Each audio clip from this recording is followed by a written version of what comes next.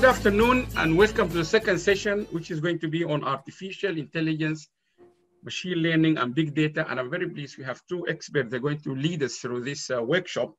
Uh, one thing I forget to mention yesterday, all the biography, I know the chairs and the moderators, all of them have been very kindly spending time and picking some information about the speakers and they uh, and, and, and, introduce them uh, in all the session. But you can go to our website, you will find the biography of all these speakers. And also you can go to the, for example, like Dr. Rawad, which we're going to listen to him again. He did this, he had spoken before in a couple of conferences with us and you can see all his PowerPoints, uh, sorry, his um, uh, videos are in the website. So that's one thing. So please do not stop here, but go to the website, learn more about these people. And the whole idea was is a global forum. Our aim is really to get people to come to connect to each other. Now, I, we, we, in a very short introduction, I'm going to introduce the moderator of this workshop, who kindly spot or give us all this slot of his time to moderate the workshop. He's an associate professor of uh, energy and chemical engineering, but interestingly, he is uh, coming from an engineering and chemical engineering and renewable energy background. And another person I met in a, one of the conferences is a big surgeon in United Arab Emirates. He gave a presentation on artificial intelligence. Yesterday, Professor Farida, she said she has been doing work using artificial intelligence. It seems like our life is going to be heavily dominated by artificial intelligence. So when I was talking with Professor Mohamed, he told me he is, he has been doing lots of work on artificial intelligence. So that means, Dr. Rawad, you have lots of competitors in your field. So you need to, uh, that doesn't, that doesn't, uh, shouldn't be a disencouragement to hide something from us. So I know you are open, but I, I have seen lots of people, excellent people or uh, expert on energy and medicine in dentists yesterday. All of them now are you. That means this topic is quite important. So Professor Mohamed, thank you very much. Professor Mohamed from the University of Southampton, he will uh, facilitate all these workshops, so I will not introduce him again. So I will stop here. Uh, one thing I'm sure he will explain it, but this is going to be slightly different than the normal session because it is more of a small mini workshop. But we promised, because we just been lucky, we got four of them, they speak different language. I know Rawad, sorry, Rabie speak French as well. But we are also aiming to deliver this workshop in full in three days in Arabic or in French. I don't know, but we will see. So I will stop here and the floor is yours, Dr. Uh, Professor Mohamed Sayed. Thank you very much, Dr. Allam. Uh, as Dr. Allam said, my name is Mohamed Hassan. I'm from the University of Southampton. I am the Program Director for Chemical and Sustainable Engineering.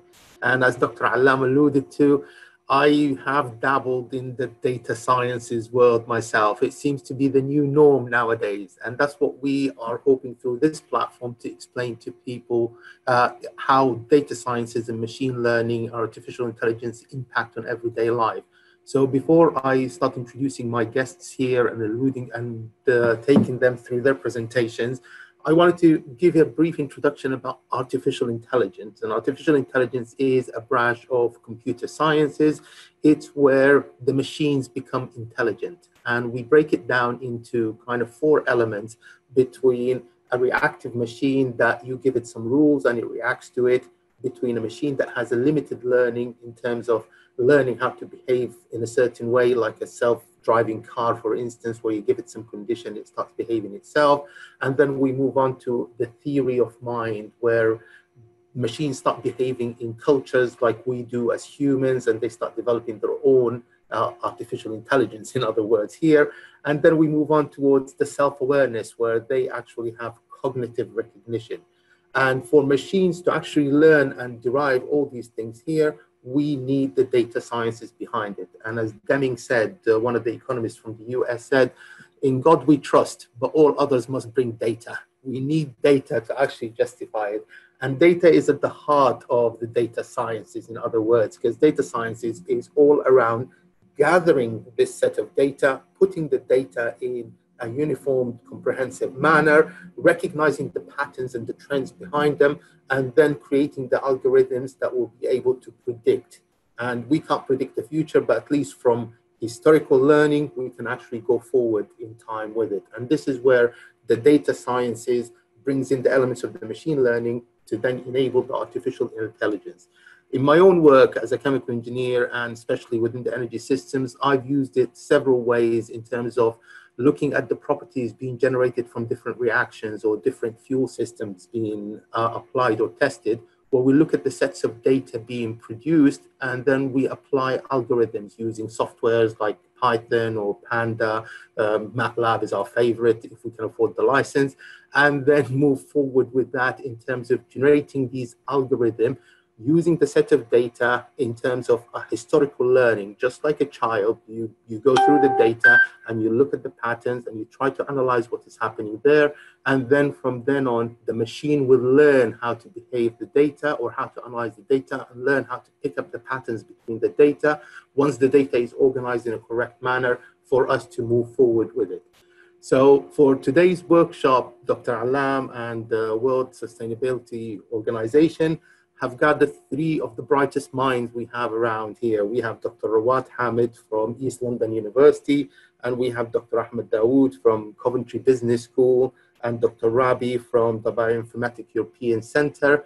And they're all experts in their fields here. They have published several papers, a multitude of papers. As Dr. Allam said, they are present in uh, everywhere to do with the data sciences. So without further ado, I would like Dr. Rawad Hamid to take over and start defining to us what artificial intelligence is all about in a knowledgeable manner rather than my haphazard description. Okay, great. Thank you so much, Dr. Mohamed. Thanks, Dr. Allam, for the invitation again. Uh, I think you've described the AI uh, brilliantly, Dr. Mohamed. So there is no need to re-identify that. I'll start think probably just to. You want to share a presentation? Make sh- make it short. Yeah, I'll start by sharing my presentation here. Okay, so that's. Let me know when you see my presentation, please. Yep. Good. So thanks again for the invitation. So today we are covering part of the AI workshop. Um, so we have a workshop for AI, data science, and the new norm. Uh, part one will be introduction to AI, machine learning, and big data. And as you all know, this is a very extremely uh, demanding and uh, large topic that we cannot cover uh, during one hour and a half or maybe less than that because we are a little bit late on the program.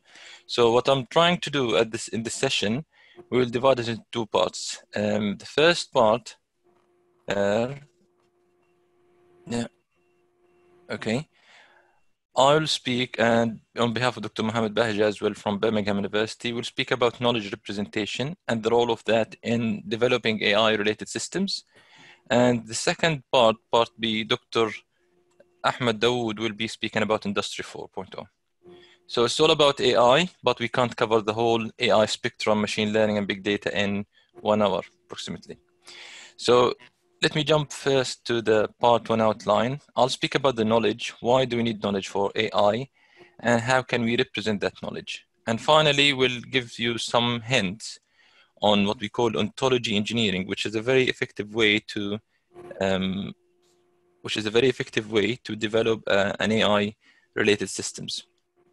Okay, so let me start now, trying to put my timer as well, just to make sure that I'm not uh, exceeding the time too much.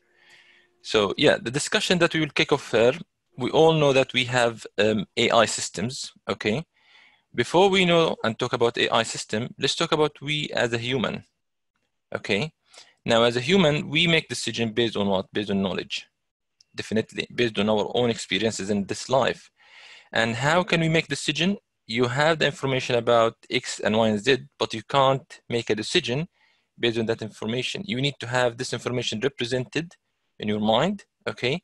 And then you need to have somehow rules some wisdom some kind of uh, opinion about things that allows you to, to judge whether option a is better for you than option b. And then you can make the decision later on. So these are things that we would like to cover in our short presentation. Now ideally if we have this um, session face to face I wouldn't define ontology or knowledge and knowledge representation without kicking off a discussion with audience. What do you think is knowledge? Uh, what is knowledge representation from your point of view? Now, I don't know if we can manage this online due to the number of uh, participant maybe or the um, level of attendees. Um, not sure if we can do that, but I will try quickly to cover these things um, very quickly, just to avoid the time uh, delay. So if I move to the next slide, I would say knowledge usually is understanding of a subject, okay? It can be represented or can be a concept, can be fact about any area. It can be relations between something, or it could be a mechanism for how things work in the real life. So if I would like to model university, we've listened to the uh, university entrepreneurship university talk. So if I would like to talk about university, then concept university is um, programs, lecturers, um, students, materials, topics, and so on. So these are concepts. We have some facts like student studies modules, student enroll in a program, some of these kind of information. Now, relationship between these concepts are so important. So I know that students are enrolled in certain program. We need to know that can student be enrolled in more than one program or not? Can student be registered in one module or not or more? So something like this. So need to have the somehow relation between these kind of concepts and also mechanism, how students go and study in the university through a process one, two, three, four, five, six. So these are all knowledge that we need to codify in our system in order to be allowed to make decision and make our systems more intelligent. Okay, so why knowledge? Is it related to AI? Yes, it's related to AI, definitely. The branch of computer science that studies, among other things, the nature of human knowledge, understanding, and mental skills that we have in AI.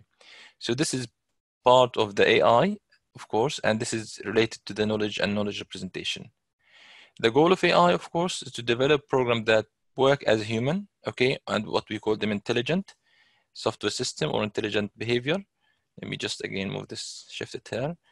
Okay, and again, in order to do that, we need to have a representation for the knowledge that we have in the computer so we can move forward and make decisions. So let's move to the next slide. Knowledge need to be stored somewhere, obviously. And of course, most importantly, need to be retrieved. So if I know that Rawad is a computer uh, science student, but I can't store that kind of information in the machine, then there will be no advantage for that, okay? So I need to store the knowledge and I need to retrieve the knowledge when I need it. Okay, so I need to find the knowledge whenever I need in order to make sure that I can access it and provide the benefit out of that. And also I need to make reasoning about the knowledge. What is reasoning? Reasoning means that we need to use the knowledge that we have. Another strategies also, all the strategies that we have programmed in our systems to solve the problems, to make somehow um, some recommendations in order to make decisions or conclusions. So I know that Rawad has a very good understanding for AI concept. He has finished his first degree in computer science. He has some interest in field number one, two, three, four. Then I can recommend to him in an intelligent way that there are some programs in AI in the area that you are living that you can go for and study and develop your skills. Furthermore, if I know more information about Rawad, then I will be able to provide him with more clever recommendations. So let's say if Rawad has interest in smart cities, which is can be part of AI related application, and I know among the 10 universities that we have, and they offer AI related courses, there are two universities who have very good relationship with industry in smart city. Sorry, let me just. Sorry, yeah. And we have two universities only among the 10. The two universities have very good relationship with industry in the smart city field. So I will definitely recommend the two university instead of the 10.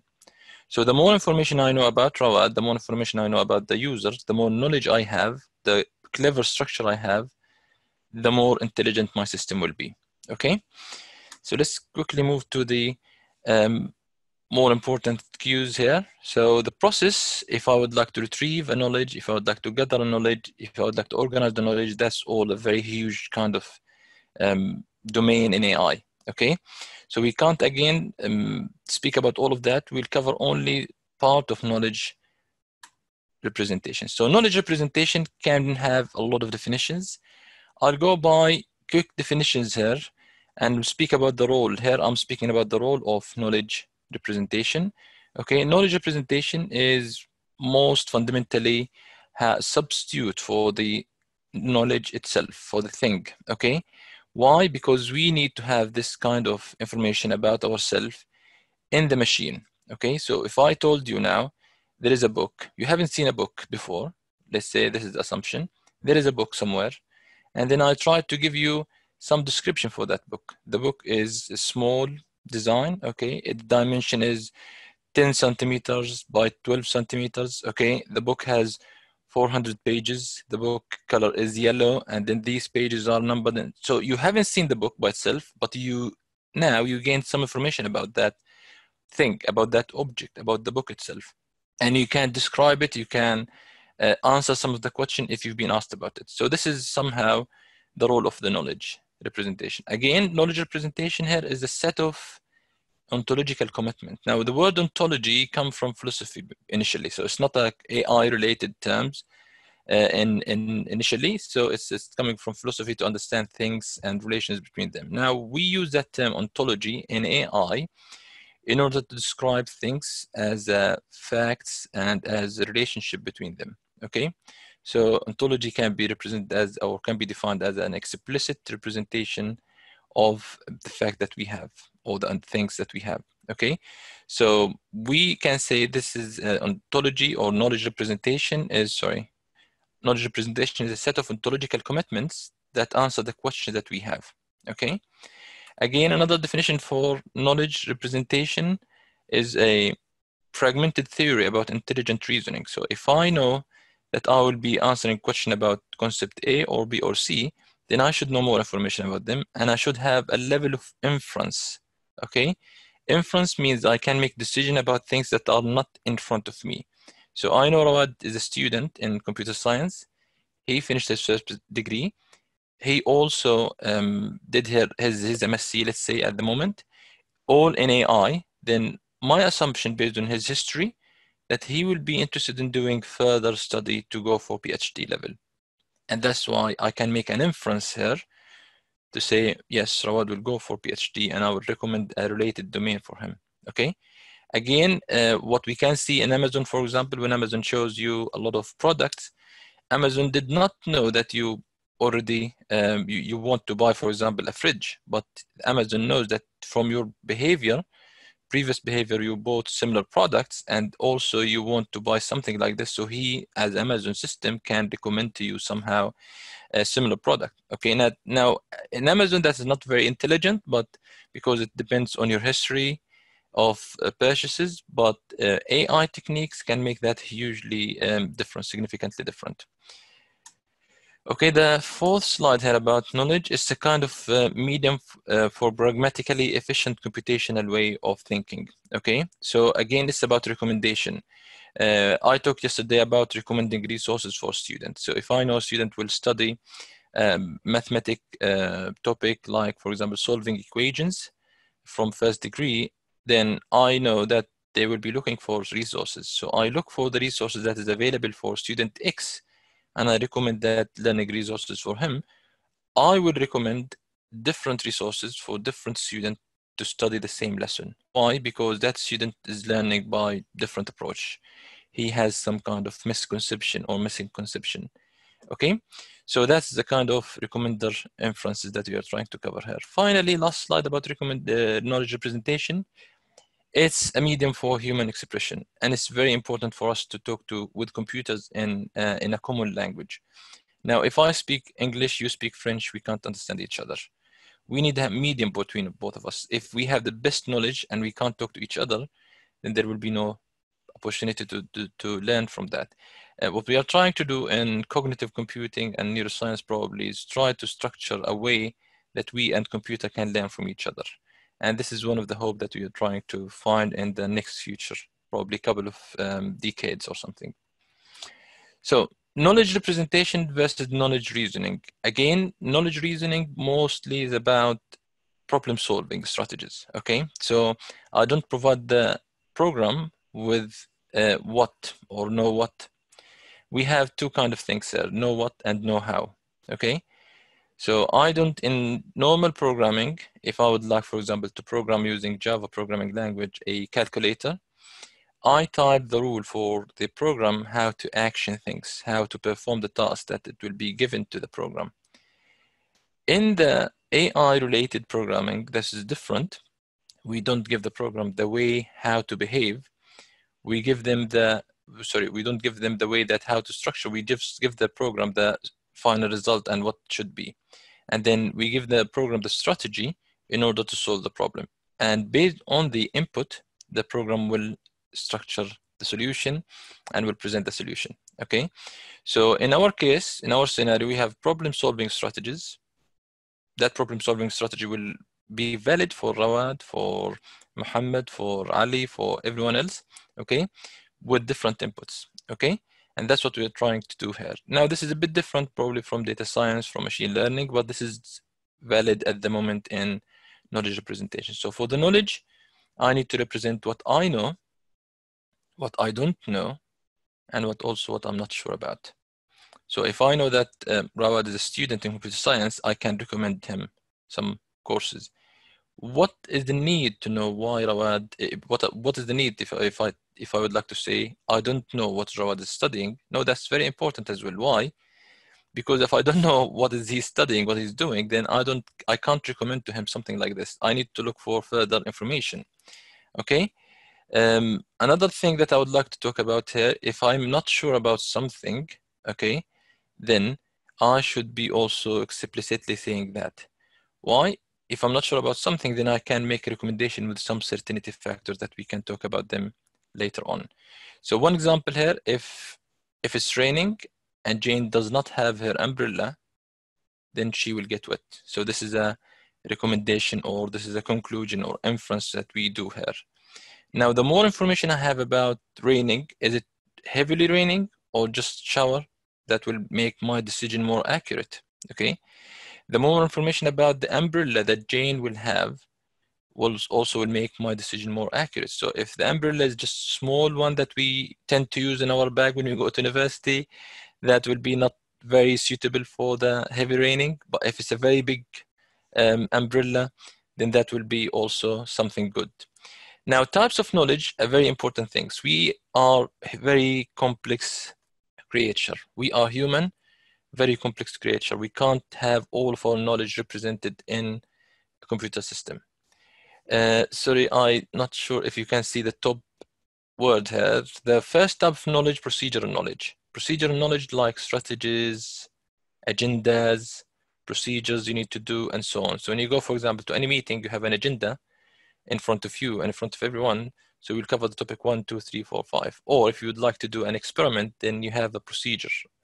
These are procedural knowledge. There are some procedures between it. There are other types of knowledge, declarative knowledge, where you're talking about concepts, you're talking about facts, you're talking about objects, describing them. Okay? And this kind of knowledge is more appropriate for our daily life and the human intelligence that we have. The third part of the knowledge is the meta knowledge. Meta knowledge is a kind of higher level of knowledge, can make kind of abstraction. Okay, and again, there are many other types of knowledge here: heuristic knowledge, structural knowledge, uh, index, uncertain knowledge, common sense, and so on. We can't cover all of that, but this slide just to show you that we have a very complex way as a human uh, creature to codify the knowledge inside our mind and inside our brain. And what we need to do here is just to try to mimic the human ways of doing things in, in computer. Now, we can't efficiently do all of that, but we can cover part of it. So let's move to the next slide and see what we can do. So for example, knowledge type here is the procedural knowledge, for example. It provides you with how to do something, for example, how to determine if Chris and Maria is older, okay? Now this probably very easy find their ages so if mary is six years old eh, chris is seven years old then chris is older okay again uh, in procedural knowledge we focus on tasks that must be performed in a particular uh, way to achieve a particular objective or goal. So i care about how to um, wash a specific uh, cup in order to get it clean. So this is a task that i need to perform okay? Again this can be conveyed to the user using procedures, rules, and so on. Declarative knowledge is knowledge about something that is true or false, or a description of something. It's a fact, like this car has four tires. Maria is older than Chris. Uh, this house is a very old house, it's a Victorian house, and so on. So it refers to a representation of, of an object or event or uh, knowledge about facts and relationship between these kind of things. Okay, and under this kind of knowledge, you will have uh, concepts, facts, object, preposition, assertion, semantic net, a lot of kind of a lot of um, types of the knowledge that you can um, represent in the computer in order to describe what you'd like to describe. So if you can see in this slide, the key takeaway from this slide is do not look at our mind as human and all the knowledge in our mind in, in just only in one way. There are multiple types of knowledge type. There are multiple types of ways that we need to use in order to store our knowledge and how to deal with the knowledge, okay? In order to organize it, structure it, retrieve it, and use it whenever needed. So knowledge representation technique in computers, we have various ways to do that. We have object attribute value triples, so we can use that kind of simple way of organizing knowledge. Uh, we have also uncertain facts because not all things that we know, we are certain about it. We have fuzzy facts. Fuzzy fact also is a kind of uncertainty, but with severe uncertainty, I would call it. We have rules that will never change, for example if you study, then you will success, you will pass the exam. And of course, there is some uncertainty in this, but there are some rules without uncertainty as well. We have semantic networks to present complex structure, and also we have frames, which is uh, another complex um, concept that we, we might talk about if we have some time. So let's move here just to make sure that we are covering things in, in the very basic level. So we talked about object attribute value, okay? Now, we make sure that whatever information we have about X, there is no single way to represent it in the computer. You can represent it in many, many ways. Okay. Now, this depends on you. So this there is an element of subjectivity here when we design AI system. Okay. One way of doing this is object attribute value. So let's say I would like to describe a ball. Then I can say the ball is the object here okay, which I'm referring to. And again, yellow is the color and the relationship between the ball and yellow is color, okay? Now you can replace this object attribute value. And again, I'm saying this is the object, ball is the object, color is the attribute, yellow is the value. You can replace it with any kind of um, relation or topic. For example, student is the object, studies is the attribute and then yellow we will replace it with for example artificial intelligence module or um, computer science program something like that so why do we need to represent this kind of information if i know this student studies this kind of programs then i can recommend further resources to him i can recommend i can recommend communities to him so he can join these communities and learn and apply the knowledge he learned at universities. Okay? And we need to know that in a machine way, in an automatic way, without you know going back and asking him about what information you have, um, what interest you have, and so on. Okay? So you can represent a large number of um, knowledge, uh, information here, and uh, attributes using this simple and basic stru- structure of knowledge representation.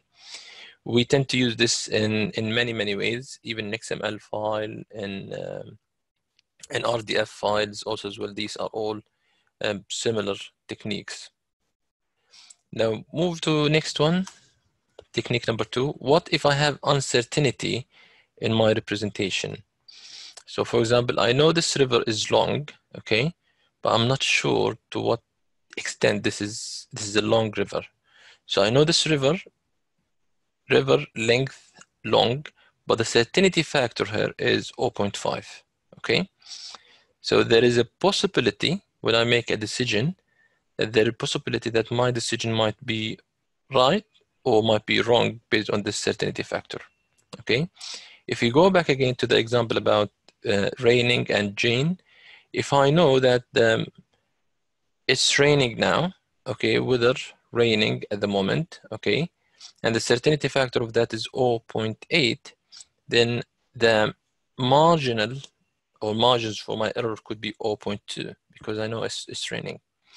Now, if I know also about more about the rain by itself, the rain drop size is let's say 0.3. So then I can classify this is not a very heavy raining. It's somehow heavy raining, but it's um, it's not that heavy. If I have more information about um, rain and of course drop size, and the drop size is uh, let's say one centimeter, obviously very heavy, then I'll say that will be a very heavy raining. Okay, you can have the certainty factor if you are not certain, but if you are certain, then you can ignore that uncertainty. Next technique, if we have fuzzy fact, this is a complex, complex um, way of modeling uh, knowledge.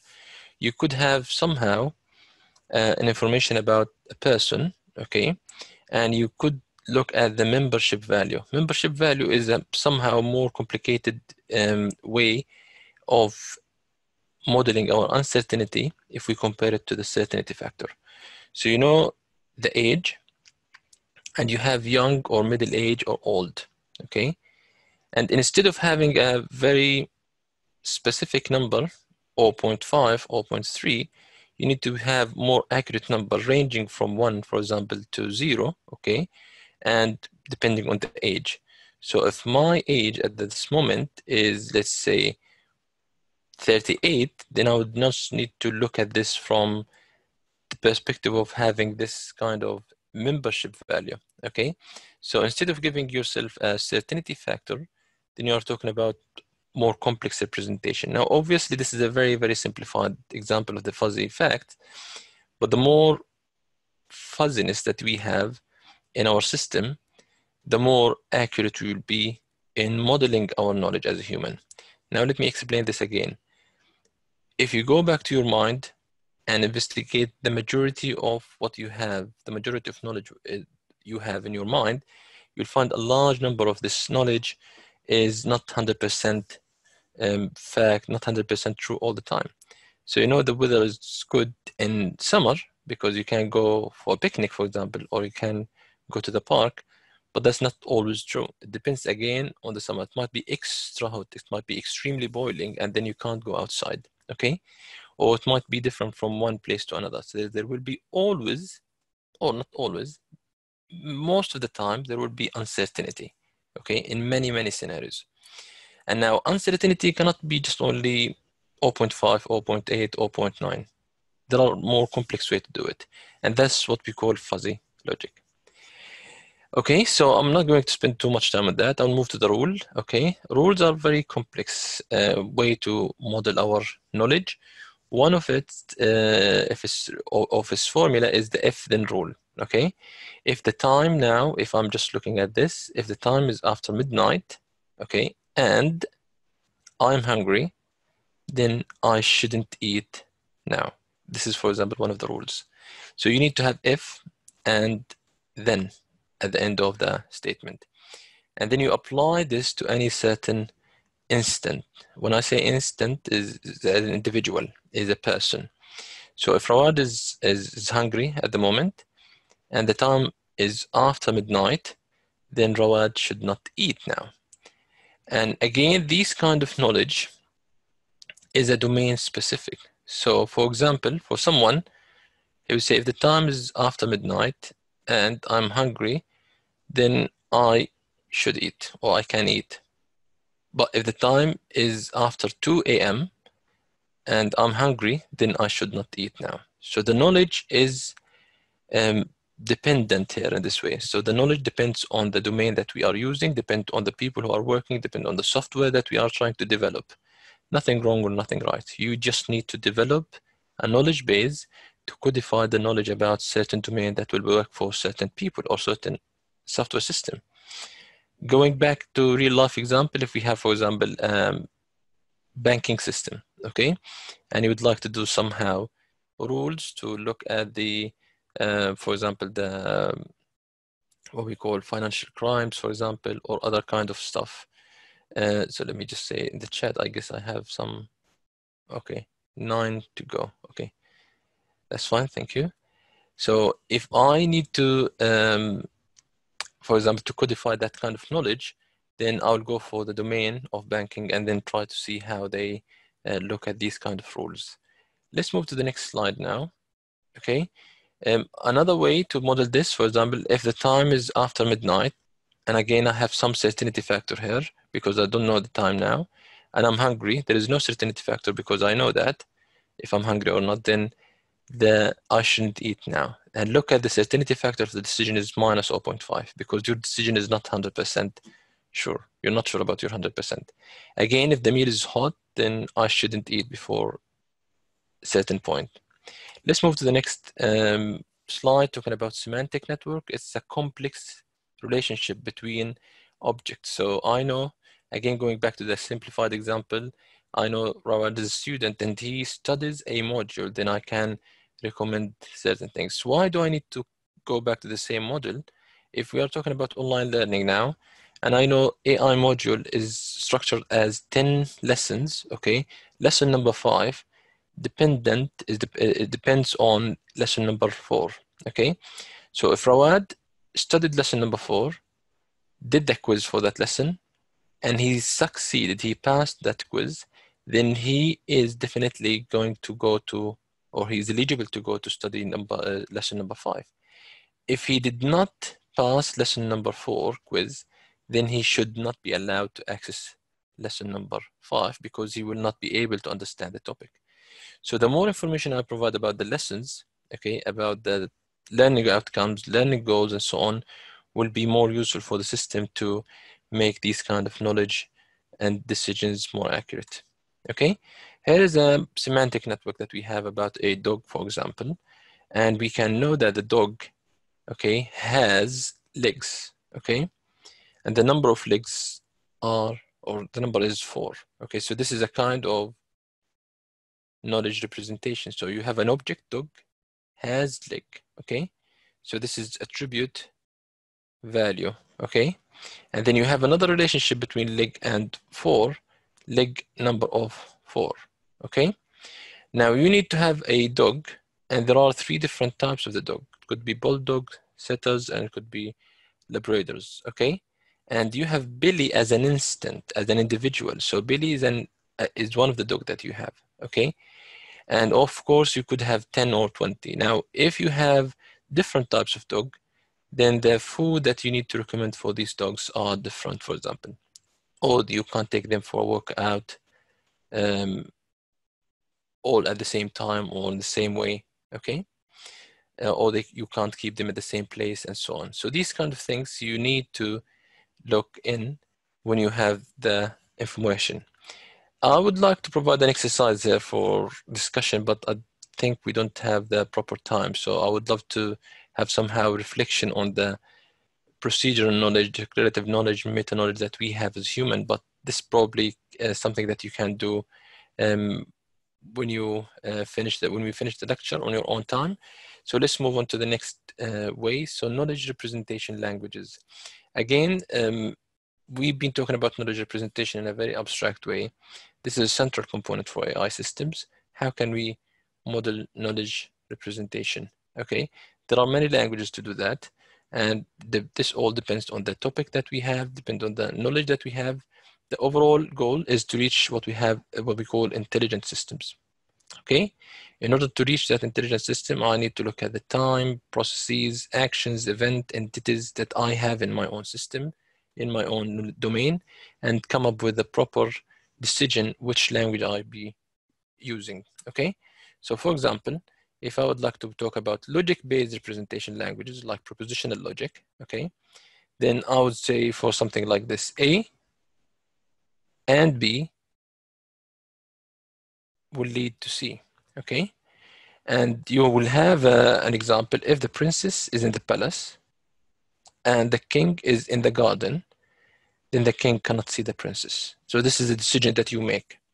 Or this is an inference that you have at the moment. Why? Because they are sitting in two different places and then the decision is they can't or the inference they can't see each other why because the way that we know about the, the palace and the garden is anyone who's sitting in the garden cannot see the palace or cannot see who's inside the palace but it might be there might be a scenario that someone who's sitting in the palace can't see the anyone in the garden or vice versa so you model these kind of things based on your own awareness of the domain.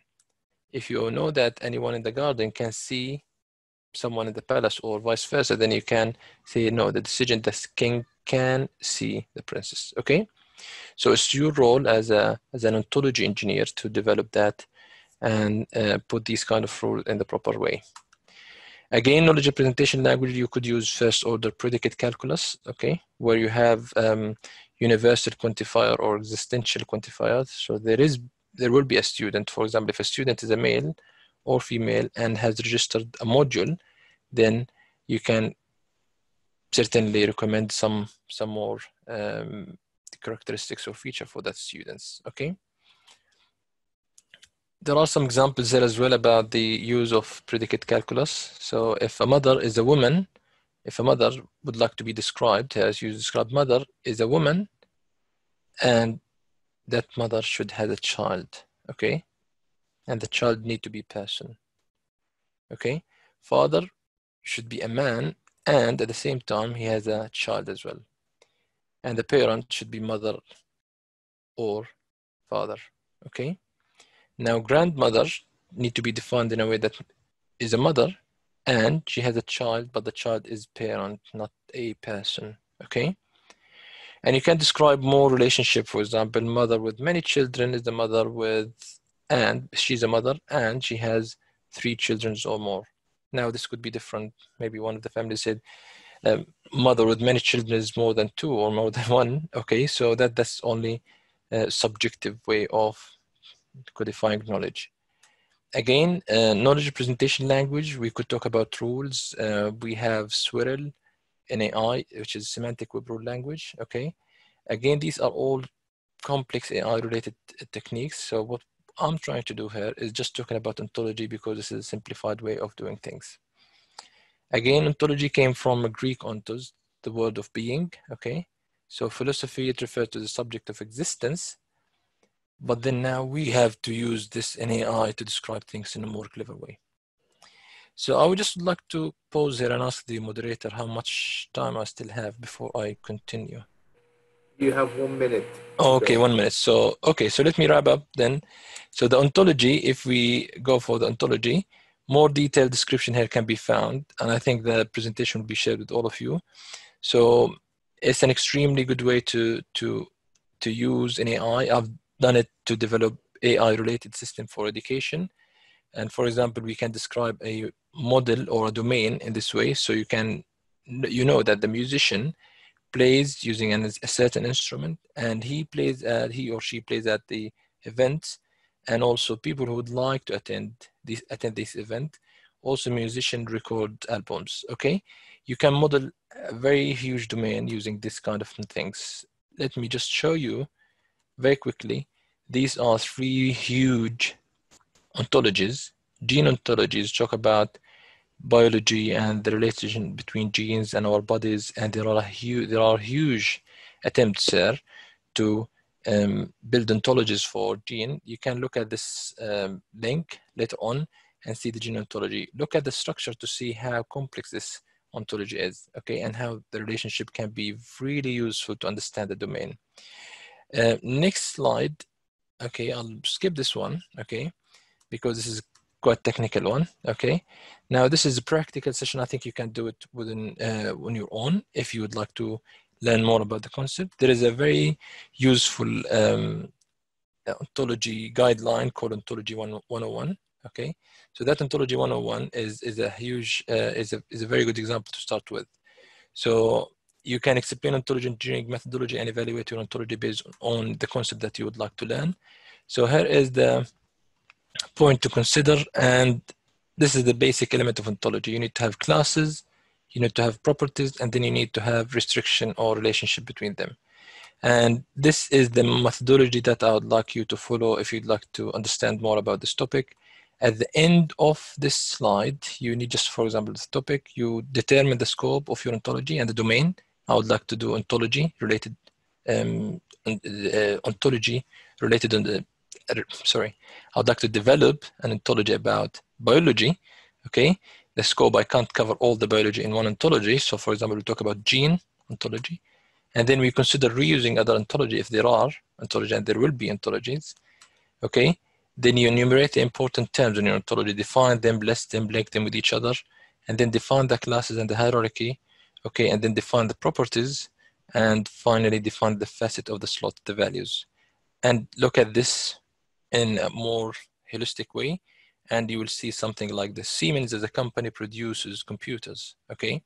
Siemens is the domain, and the slot is produces, and the range is computers. Also student studies a course and so on. Okay, now you create more instances. You describe Rawad as a student, Muhammad as the lecturer, Allam is the leader for the course, and so on. Here is the Ontology 101 guidance. You can click on that and you can practice this on, on your time if you have the uh, willing to learn more about ontology. If you have more questions, I will be happy to answer. And um, I'll leave you now with the uh, with the module with the facilitator just to allow a little bit of question and answer, and then we move to the second part of this uh, workshop. Thanks. Thanks, Mohamed. Over to you. Thank you very much, Rawad. Very interesting to expose us to ontology engineering. Uh, it's, uh, it's a new concept to all of us. I'm sure most of us are familiar with the concept of knowledge management and explicit knowledge and tacit knowledge, but to then bring in the knowledge in terms of representation and reasoning, and then break the knowledge in terms of the concepts and the relationships between them, and uh, the ability to store and access the data and reason the data, you, you build up a good momentum or good fundamental for us to actually define knowledge itself in a more in-depth. And you brought in the elements of the reasoning and the representation in a very good, concise manner. Uh, there's a question here from Professor Joseph. Can you provide more information on frames? Are they similar to schemes? Dr. Rawad? Yeah, sorry. Yeah. now. Yeah, so the themes um, frame is a little bit more complex in terms of codifying the, um, let's say the the uncertainty and where we structure the knowledge. Okay, so if I would go for simplified ways of um, of codifying, let's say, relationship between objects, rather studying a, um, uh, let's say, um, modules or a program, then that's true for certain scenarios. But now, what if I would like to make more uh, complicated decision that is not just only dependent on what Rawad is doing at the moment or what Rawad is, is studying? I need to make decisions that is related to his previous situation, for example, or the way he would like to interact with other colleagues and so on. So I need to use a different data structure, which is AI data structure that divide knowledge into substructure to represent somehow stereotyped situations. Okay, uh, this was invented, I guess, in in 70s, in 1970s at some point. So again, frame is is, is, a, is an intelligent, say, data structure, an AI. Okay, um, they use also ontology set, but they have very specific representation and reasoning schemas. Okay, and I can um, go back, I guess, to the uh, I guess the book of AI, a modern approach, which I'm teaching my my student uh, at the moment in the university. Um, we we tend to teach frames as uh, as the last complex object for the uh, last complex concept for the um, for the student because it, it, talks about what we call semantic network and semantic calculus. Okay, um, and I'm sure we we can talk about this more if you want, but this is uh, I think we need to simplify things like linked data before, and how this can be built on that. So hopefully I've, I've answered uh, the questions.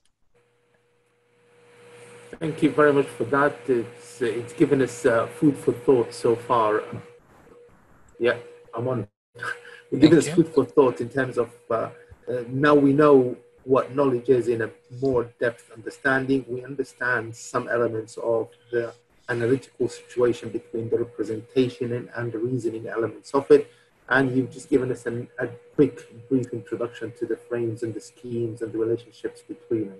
So I think this is a, a good opportunity for us to move to Dr. Ahmad Daowd, who will take us more into the data sciences. Dr. Ahmad Daowd comes from Coventry University Business School. He uses uh, a lot, he's published a lot of paper in these areas and into the data sciences, uh, how people use social medias and other things like that. And I'm sure he is, he's going to take the knowledge management aspects that were presented by Dr. Rawad and help us move forward in our understanding of these systems. So Ahmad, without any further ado, please go ahead. Uh, thank you so much uh, for for this uh, brief introduction. Uh, thank you for you all guys for having me. Uh, it's a it's a great honor to to be with you um, all today. actually, my presentation will be a continuation of what Rawad started, but from business perspective. so I will introduce some like something I I can consider it a bit recent and new which is uh, the term Industry 4. Yeah. So I will be speaking about Industry 4, um, uh, the story, and the application. Because of the time limit, I will try to be a bit short, way shorter than Rawad at least. So, so yeah, I'm Ahmad Daowd. I work at Coventry Business School as a lecturer in business analytics. So um, uh, because it's it's a e uh, e conference of it's it's e meeting. Uh, I mean, face to face when you go to class or when you go to conference face to face, you see people, you give smile, uh, you you shake hands. unfortunately, we can't do this one in Corona time. so I tried for online teaching, I always try to start uh, with my students with something positive, uh, break the ice, especially at the first time. So with you guys, I, I decided to start with a very positive uh, perspective of my daughters, how she see our planet. Um, so she she see it as stuffed uh, with um, with love. My daughter is uh, Tia, and uh, she's nine years um, old. so yeah, this is some positive ideas to start with.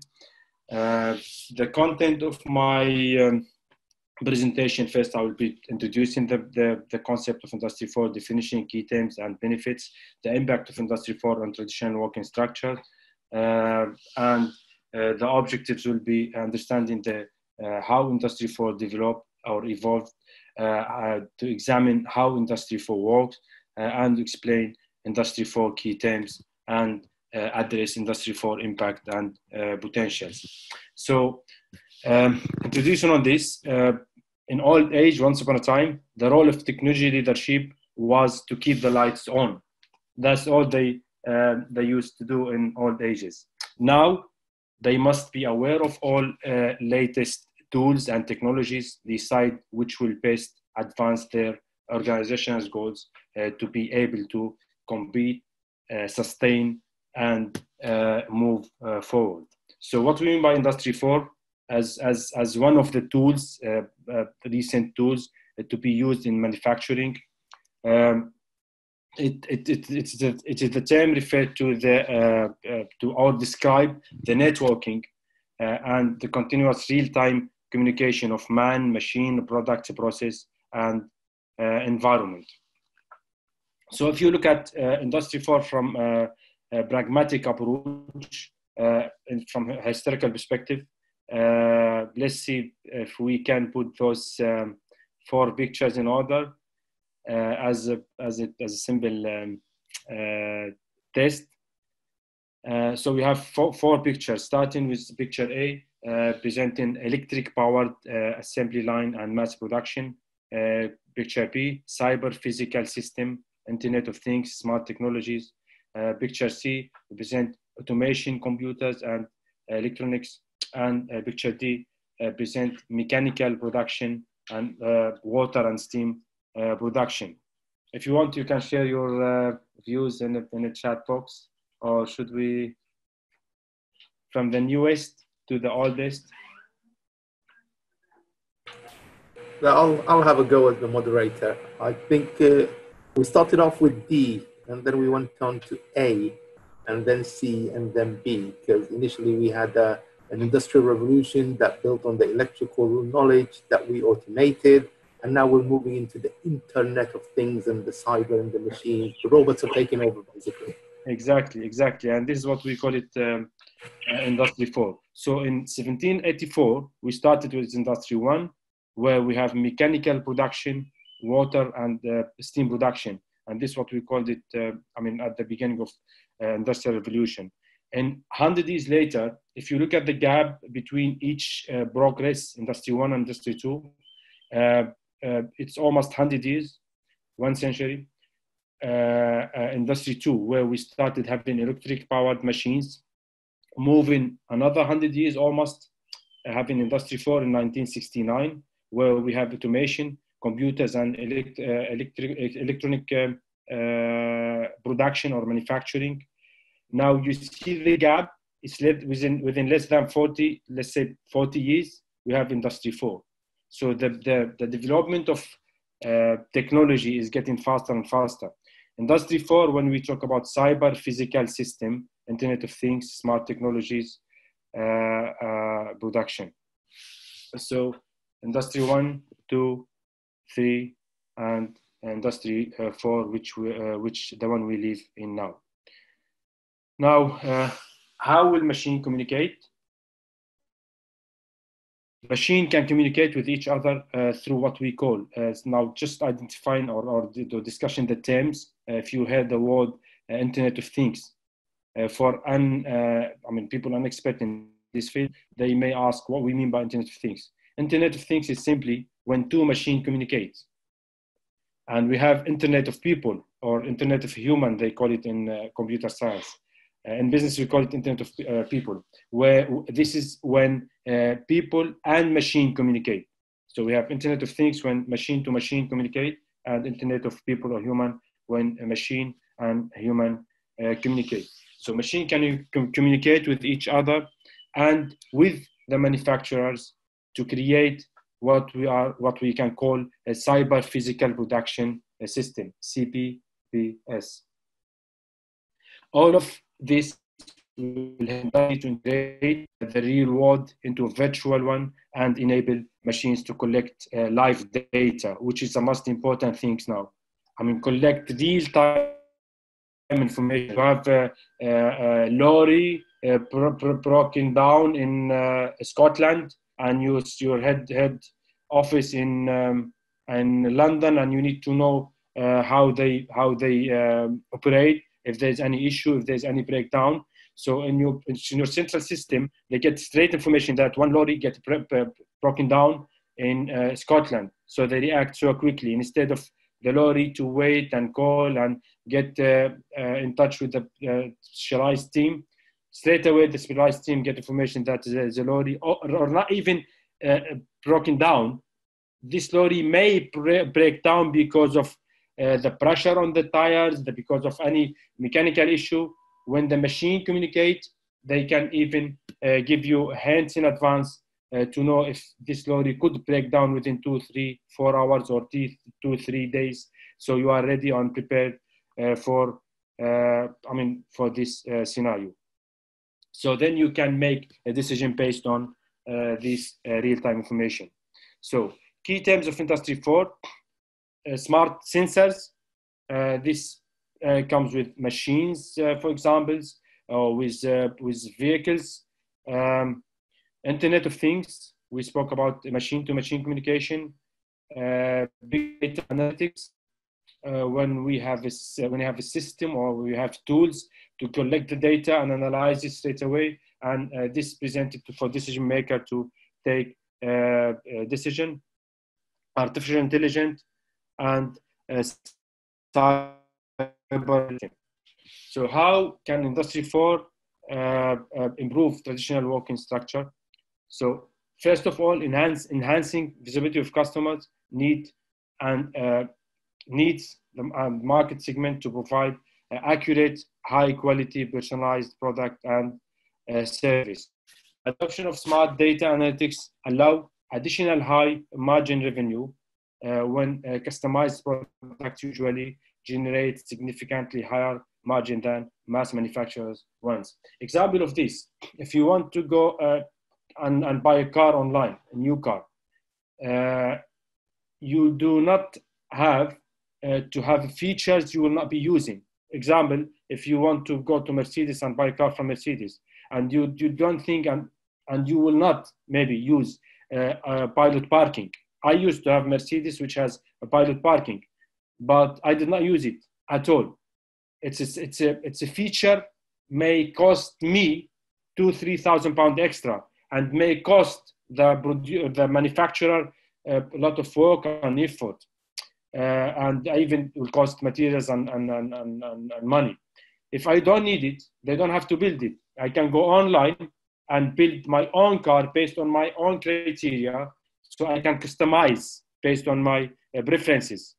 Okay, so so they, they will be able to deliver uh, personalized solutions uh, for final users according to uh, their requirement as it's made by real-time data availability. Industry 4 offer great opportunity, as I mentioned, for quality management in case of any failure. Uh, sensor immediately notify uh, the issue that uh, the responsible team or person, as I mentioned with the example of uh, uh, lorry broken down, uh, so we can take uh, straight reaction. now, increasing number of smart devices in the factory and the efficiency of the communication among them are favoring global planet optimization that results in uh, industrial, I mean, increase of the industrial uh, productivity. So I don't have to waste uh, materials for pilot parking if I don't need it, if I'm not going to use it. This will also help the environment in a, in, a, in, a, in a way. Because of improved automation, a lot of jobs will disappear. And this is a bit uh, scary for most of the people. When we talk about robot taking places in our, um, uh, uh, in our factories, and even in our businesses, people are scared. But I, I think from my own perspective and from my own um, uh, observation, uh, many, many jobs will be uh, created as uh, per to the this industrial um, era or industry 4 revolution. Now, example of this, we have Volkswagen Industrial Cloud. So Volkswagen uh, implemented or enabled a smart real-time control uh, they implemented uh, what we call it Volkswagen Industrial Cloud. They implemented it in their manufacturing, uh, and they they started collecting real-time information, which bring together data from all machines, plants, they or, or even branches all around the world, and systems in all their factories. This enable uh, Volkswagen or VW to analyze the process even much better and faster, and those to become more uh, productive. The goal was to integrate the global supply chain for more than 30,000 location and 1,500 partner companies into Volkswagen Industrial Cloud. So everyone involved in Volkswagen uh, manufacturing process, uh, distributed distribution process, supply chain uh, uh operation, they all uh, are connected to one cloud and they automatically uh, provide real-time information about uh, businesses, about uh, numbers, about performance, and this will help will help much better to to, to, to, to improve the process and the communication. So, for example, if a truck is about to get stuck in a traffic jam, a component uh, is faulty or a machine break down, as I mentioned, everyone involved knows immediately as information is uh, shared uh, uh, straight away uh, on the cloud. So the benefit of Industry 4, uh, just briefly, uh, it's to provide continuous and timely communication between intelligent objects by themselves and people. It will give flexible production it will give cost reduction. It will uh, help improving productivity and active uh, preventive uh, maintenance. Uh, active preventive, preventive maintenance when you have a sensor which can tell you that any part of machines or, or vehicle will be will be shortly broke, uh, will shortly break down. So you are aware uh, you can replace it or you can take action in advance. So you don't have to wait uh, until uh, you are uh, uh, you are in trouble. I have experience from one of my interviews. I one of the big companies airplane and, and luxurious car manufacturer he, he was talking about the experience 10 years ago there was a fault on one of the production line and they did not notice this fault. Uh, they were producing cars uh, on, the, on the car uh, car line uh, production, and they were not aware of this fault. And the car produced with a fault, even they were not discovered. The, the, this fault was not discovered until like a few, maybe few months. They sold the car, uh, the car in use, and customers started complaining uh, about the the the, the, issue with the cars. So he was he was discussing. He's from IT department and and, and that company, and he was discussing if at that time, 10 years ago, 10 or 15 years ago, if we had a kind of sensors, which is at least telling us that this part of the production line is faulty or there's an issue with it, we could have saved a million of pounds uh, instead of calling the cars again to the manufacturing uh, department and uh, trying to fix the issue and putting our business in big trouble. So now you can have sensors which tell you which tell you that there, there's a fault could happen or there's a fault already happened in certain department. So you are aware uh, uh, well in advance uh, instead of waiting until the item is is is tested or consumed by customer and you are notified by customers about this issue. Uh, monitoring is it's it's it's also help uh, helpful for monitoring your production lines and to control uh, and for optimization. Optimization is is one of the most important things. You do not have to produce a product, especially when we talk about cars or big products. You do not have to, to produce a product whose features will not be uh, used. And real-time information uh, sharing. Now there's a video, the three minutes video. I uh, uh, it's just summarizing all what I discussed here. Uh, let me try to open it from YouTube and we uh, we all watch it if you don't mind. Can you hear it? Fourth we can't see it. You need to share the screen. Sorry? Have, you still have the PowerPoint on. We need to, we don't see the video. We just see your PowerPoint. Okay, sorry. Yeah. Let me share the screen instead of sharing the slides. Yeah, yeah you, need to minimize it. the slide. Yeah, just do a new, a new share. New share, yeah. Yeah, that would be easier. And click on share uh, computer sound at the bottom. Uh, computer sound, share, uh, yeah. Uh, uh, because in, in Coventry we use uh, we use MS Teams uh, most of the time. So I'm um, yeah. Now should I have the chance to be part yes, of it. Just make it bigger. This yeah, isn't going yeah. to be like before. The fourth industrial revolution has begun, and you have the chance to be part of it. This isn't going to be like before.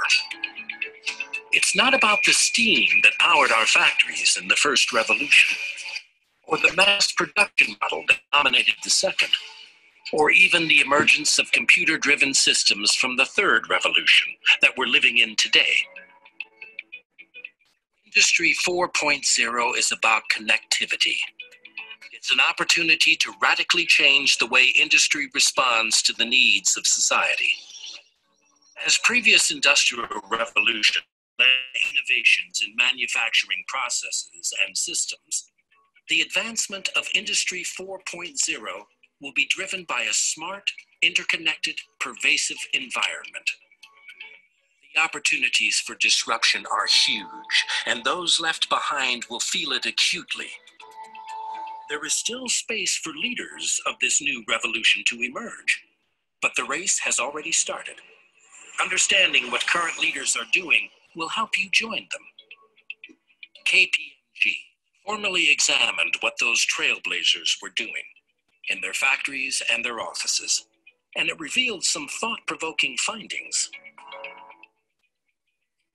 Our research highlighted a number of areas that current Industry 4.0 leaders are focusing on. Leaders are planning ahead with clear strategic vision, driven by performance and tying investment to proven opportunities for growth, progress, and innovation. They are focused on discovering how smart products and processes can be developed. Integration is key The Major players are moving away from isolated silo driven development, which limits scope and value of new projects. Instead, they are moving towards large scale and proactive integration across their enterprise and among their customers' supply base and products to ensure they are aware of every possible opportunity Industry 4.0 technology has to offer.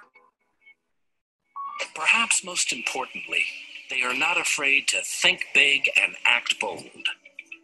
This means nurturing innovation, developing disruptive thought processes aimed at devastating the status quo, and looking for opportunity in every element of their value chain, from which products are designed and how they are produced, to who they are sold to, how they are purchased. Your organization may be radically different in the future with a range of products, services, and processes you can't currently predict. Want to join the leaders of Industry 4.0? Can you afford not to? Then our advice is plan ahead, fight radical change with integrated radical action, and embrace the fact that it's time for manufacturers to step up and start making smart, bold moves. If you don't, you could be left behind. You have this chance. Let us help you take it. So yeah, that's uh, that's all for me. Uh, I, I, want to uh, to conclude with um, with asking you uh, to open the discussion. Uh, what's your expectation, or what's your um, view about the challenges challenges of Industry 4.0? Uh, uh, zero. Thank you so much for listening, and I will leave it uh, to you now, guys. Thank you very much, Dr. Ahmad. Uh, just to recap, uh, Dr. Rawad gave us a brief introduction about the ontology engineering aspect, which is all to do with the knowledge acquisition and knowledge understanding and comprehension and how we process it. And Dr. Ahmad here took us to Industry 4.0, which is more of a, an application where we, you've highlighted the, some significant improvements in our society. So you started talking about uh, the network of things and how things are going to interact, the, the machinery. And this links in with the heart of artificial intelligence, because we said at the beginning, it's a part of computer science where we develop intelligent machines, and we have been developing them over a four generation period we're in generation three now, where we looked at reactive machines in terms of giving them some data, some knowledge, like Dr. Rawad said, and we interpret that knowledge. And now we moved on to uh, the limited memory machinery, where we started communicating in terms of uh, self-driving vehicles and other things like that. And now we're moving more into that social robotic element of things where we're creating a theory of mind, as the psychologists refer to it. And I think this is where your concept of uh, the, uh, the Internet of Things and the Internet of People sit because we are moving away from just a machine that does a function as it was given to us by Dr. Rawad to a machine that can communicate with another machine to form a culture, a group of cars behaving together, uh, reacting to each other. And the next stage or generation four after industry four is going to be industry five, where the machines actually are autonomous. They're going to start taking the decisions or self-aware of themselves. And we're nowhere near that yet because we still wait for G5 and other things like that to help the transfer of the knowledge. But if we take a bigger picture before we move on to the next speaker, Dr. Rabie, uh, this is all tied in with what Deming said. in God we trust, but all others need to bring data, and we need to understand the data. We need to quantify the data. We need to learn from the data, and I think this is where artificial intelligence comes into it. because its its ability to communicate and process and analyze and synthesize is beyond our comprehension. And this is clear from Industry 4 how the new phase of civilization is going to be. We're moving on from the industrial revolution to the knowledge revolution, and now we're going beyond it to the application of knowledge, basically, and the processing of knowledge.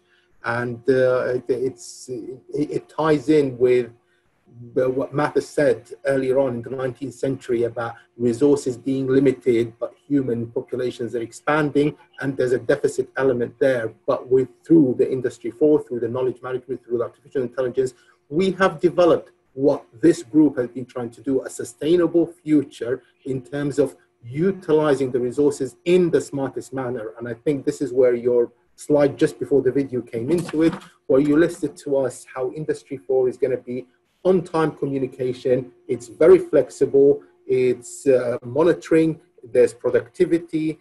It's big things being applied with minimum cost and minimum resources. And we should not fear this because although the landscape is changing for us, it's creating new jobs as old jobs will disappear. And this is apparent in all our civilization. I mean, a few years ago, if you told me I'll be having a conference in this manner, I wouldn't have believed you. And nowadays, you know, I'm talking to people from around the world here. So uh, uh, what I'm saying here is uh, a conclusion of what we said is we presented the knowledge and we presented an application of how this knowledge could be featured. And I think I have a question here from Dr. Amin who says, Dr. Ahmad, can you uh, employ knowledge management to the Internet of Things? Can you provide an example for that? Employ knowledge uh, to Internet of, uh, of Things. I mean, uh, if we say knowledge uh, is, is, uh, is information about certain uh, certain scenario, yes, it is actually already employed. When when when machine communicate with a human, when we talk about Internet of Things, or a machine talk to a machine, sorry, Internet of People, our machine communicate with machine Internet of Things. Yes, it's it's it's communicated. the communication is based on knowledge based on information. So if the target, if the target, uh, uh, if the target for certain manufacturer to produce 100,000 item, okay. So uh, and the share for for two machines, let's say I'll make it simple, for two machines to make 500,000 uh, uh, item, okay. For certain reason, one machine was a bit faster. Uh, I mean, without discussing the reason, one machine was faster and it was able to reach the 500,000. Other machine is uh, uh has only produced 400,000. We have 100,000 to be produced to achieve the target or to reach the target. This could be automatically. We don't need to get involved. Those two machines automatically they know that the target is um, is uh, I said one million, uh, half each, half million each. Let's say uh, one of them finished uh, the, finished the share uh, so automatically can keep producing until the target is achieved for on both on both uh, uh, on both machines. So uh, you see, when they communicate, they inform each other about their performance also. Okay, so they achieve the target. This is very simple example of uh, how we uh, could use knowledge. But there are more complicated, and from my observation on on on as I mentioned, I had them uh, practical knowledge when I went to one of the manufacturer, car and airplane manufacturer, uh, how they employ, and they are still what they claim they are still behind in terms of implementing Industry 4 or even understanding uh, the term Industry 4 or big data, big data analytics. But yes, it is already implemented and it's already uh, uh, used. Thank you very much. There's a few more questions trickling around, but uh, can I ask everyone to put their cameras on because uh, the World Association wants to take a, a, group picture as we normally do in a real conference, but we're going to do it virtually here. And uh, well, there's a lot of questions, but I just wanted to ask one last question from, again, Dr. Amir, who's asking Dr. Ahmad about the network benefits and how, because the network benefits be leveraged in terms of network for Industry 4. What exactly you mean by network benefit? Can you can you explain? I, I think he's talking about the limitation of the network or how can you optimize the network to actually apply the knowledge management system in the Internet of People and the Internet of Things. Uh, Dr. Rawad, can you handle this because it's more into knowledge uh, management or more, it's more technical, I think. Yeah, of course, but if you can repeat the question, please, uh, Mohamed, please. It, it's on the discussion. It's about how do we leverage the network benefits in relationship to the Internet of Things and knowledge management. Um, I guess yeah. The more important thing here is to get the more uh, realistic data from our network, if I uh, understand the question properly. And again, any kind of representation for the knowledge uh, need to understand the nature of data. So if it's just simple structure for the networks, bandwidth, the connectivity, and so on, that will be easily or fairly easy to, to, to model that presentation. Now, unfortunately, that's not true in most of our scenarios because we have a huge complexity now in capturing the networking issues, especially when we talk about IoT and smart cities, you will talk about different sources of data coming from different devices, and these devices, they have different types of connectivity. For example, your, your, um, your mobile, your handset, if you have um, connectivity with uh, what we call it when you open the internet from your um, hotspot. Yeah, hotspot. When you open the internet from your mobile and you can access through the uh, different devices, that hotspot has certain range. Bluetooth has range different from Wi-Fi, different from other things. And nature of data that has been captured also is not valid for all the time. So this had a timestamp. So based on that, I guess you come up with analysis first, and then you decide which best to which the what is the best technique to model your knowledge. That that's my quick answer for this. But again, this is a very big question that needs to be analyzed further. I guess. Okay, thank you very much. I think I mean it, it's very clear that networks are developing. And we can see it every day in everyday faces where we have uh, the internet, we have the intranet internally, we have the VPNs and other localized networks. So as the Internet of Things and the Internet of People develop, there is subcategories where the communication levels, although they're apparent, they are protected and there's different layers for it. And regarding to the bandwidth and other things like that, we can see the systems have been developed from uh, the first generations to the fifth generations being implemented nowadays. So the network does uh, expand itself. Uh, at this point, we're going to have a quick lunch break. Unfortunately, because we're overrunning with time, we're going to have a 15 minute break, and I think we'll be back about 1.30 to actually listen to Dr. Rabie talking to us about the data sciences and representing elements of the data science. Dr. Allam, do you want to say a word before yeah, we go? Just a, just a question. We had these questions in the in the social media uh, quite a lot. We actually been asked this question also before in different ways people ask uh, because they like the, the, the, sexy word of artificial intelligence, artificial intelligence. What are the, uh, if they want to study artificial intelligence, you both teach artificial intelligence in your universities. And I think maybe that can also allude it to Professor Joseph, the dean from uh, Uganda. Uh, you know, students, do they, I know for data science, you need to have a good mathematics background. For data science, what backgrounds, what the students need to have particularly for young generations, do they have to come from a science background? Do anyone can study artificial intelligence? And also for all the people like us or those who already graduated, if they, they want to have a course on artificial intelligence, is there any uh, basic requirement they have, they must, so they can actually listen to a complete course?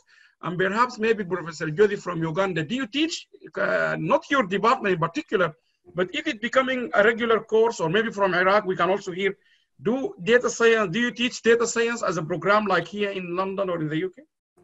So it's really more of for all of you, really. Not really as a, uh, as a standalone program. Uh, we really go into ICT and some of those uh, are provided as courses, not as programs. So they are courses of the programs and uh, the requirement is that somebody must have done some mathematics. But uh, in some other courses, which are like information you do not necessarily have to have done mathematics at A level. So that's the position. Yeah. I would say the same thing here as well. Um, AI is a very broad uh, broad terms. So you can have uh, mathematical capabilities, good mathematical capabilities if you'd like to go to data science, more analytical and prescriptive thing, descriptive. But you can also study AI from uh, from uh, ethical perspective as well, which does not require that kind of uh, huge uh, mathematics and huge scientific background. Also, you can study AI for from a governmental, so not government, from governance point of view uh, rules and processes that need to be adopted in order to apply AI in societies. And this is also uh, more of business rather than technology. Uh, interdisciplinary approach, I think, is, is an advantage for all of us because we need to talk, talk more about AI, reach a common language where we need to start and investigate these issues in our society, within our society. It's completely, uh, I would say, significantly different from in Uganda, from UK and France and so on. So that's, I say, my uh, my answer for this question. Can I also add? I mean, as I said, I'm a chemical engineer and I do chemical and sustainable engineering. But we've uh, designed the new courses nowadays in terms of the application of engineering, where we incorporated big data and artificial intelligence as an application or a tool to the sciences that we offer. So it's you're not a specialized person in terms of Dr. Rawad Dr. Ahmad in a specific area of the knowledge management and the artificial intelligence, but you're specializing in the linguistic and applications of the knowledge that you have, transferable knowledge from one discipline to use machine learning to then predict data, reduce times, meet the needs for the industry for and other things like that. So you can look at it from your own applications if you want to go into a master's level, or you can do it from the undergraduate levels onwards. Yeah, from from what I teach at uh, Coventry as well, uh, you need to have basic uh, basic knowledge in statistic and quantitative approach. Uh, you, you it doesn't have to be advanced knowledge, but in order to start with uh, data analytics uh, and big data analytics, you you need to have some quantitative approach knowledge and statistics, basic term of statistics. I, I hope this helped this in terms of business business perspective? Yes, it does because this question is being asked because we keep saying to people this is a the new century is knowledge. You have to the, the, the key subject now, but it's good. And just uh, in Iraq, do you teach it, Dr. Amir? Because you you teach knowledge management. Do you teach artificial yes. intelligence or yes. data science or? Yes, yes, Professor uh, Allam. Uh, we have uh, knowledge management uh, course in uh, management information department. Uh, I teach for uh, M master students. Um, I uh, teach about three decisions or three analysis in statistics about AI. Thank you very much. I mean, uh, now we have a clear understanding of the different elements of it. I'm sure everyone's keen. Uh, let's take an interval in the previous session, just before the lunch break, we talked about the knowledge management and we talked about the application of knowledge management in terms of the industry four and what facilities it can bring to us here. And we're very grateful to have Dr. Rabie with us from the informatics systems in Cambridge. Uh, he's a lead data scientist. He's going to talk to us about data sciences. And before I give him the platform, I just wanted to highlight a concept about data sciences is all about using algorithms and mathematics to actually enable the knowledge and give insight into the knowledge from structured and unstructured data here. And it's all about gathering the information of the data and then enabling the machine to process the data to come up with the decisions or the knowledge that we have here. Uh, if Dr. Rabie just permits me, I just want to highlight this element through uh, a quick kind of a slide. I don't know if you can see my slide. Okay, shall I stop? Uh, yeah, please go ahead. Sorry. Uh, yeah, please go ahead, Dr. Rabia. I was trying to highlight the image of data processing, but it kind of lost your uh, your presentation in the meantime. Do you mind resharing your slides? Um, uh, okay, all right. Yeah.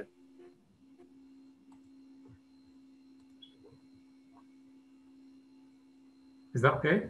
Yeah, thank you. We can see the slides now. Yeah. All right. Uh, shall I start then? Please go ahead.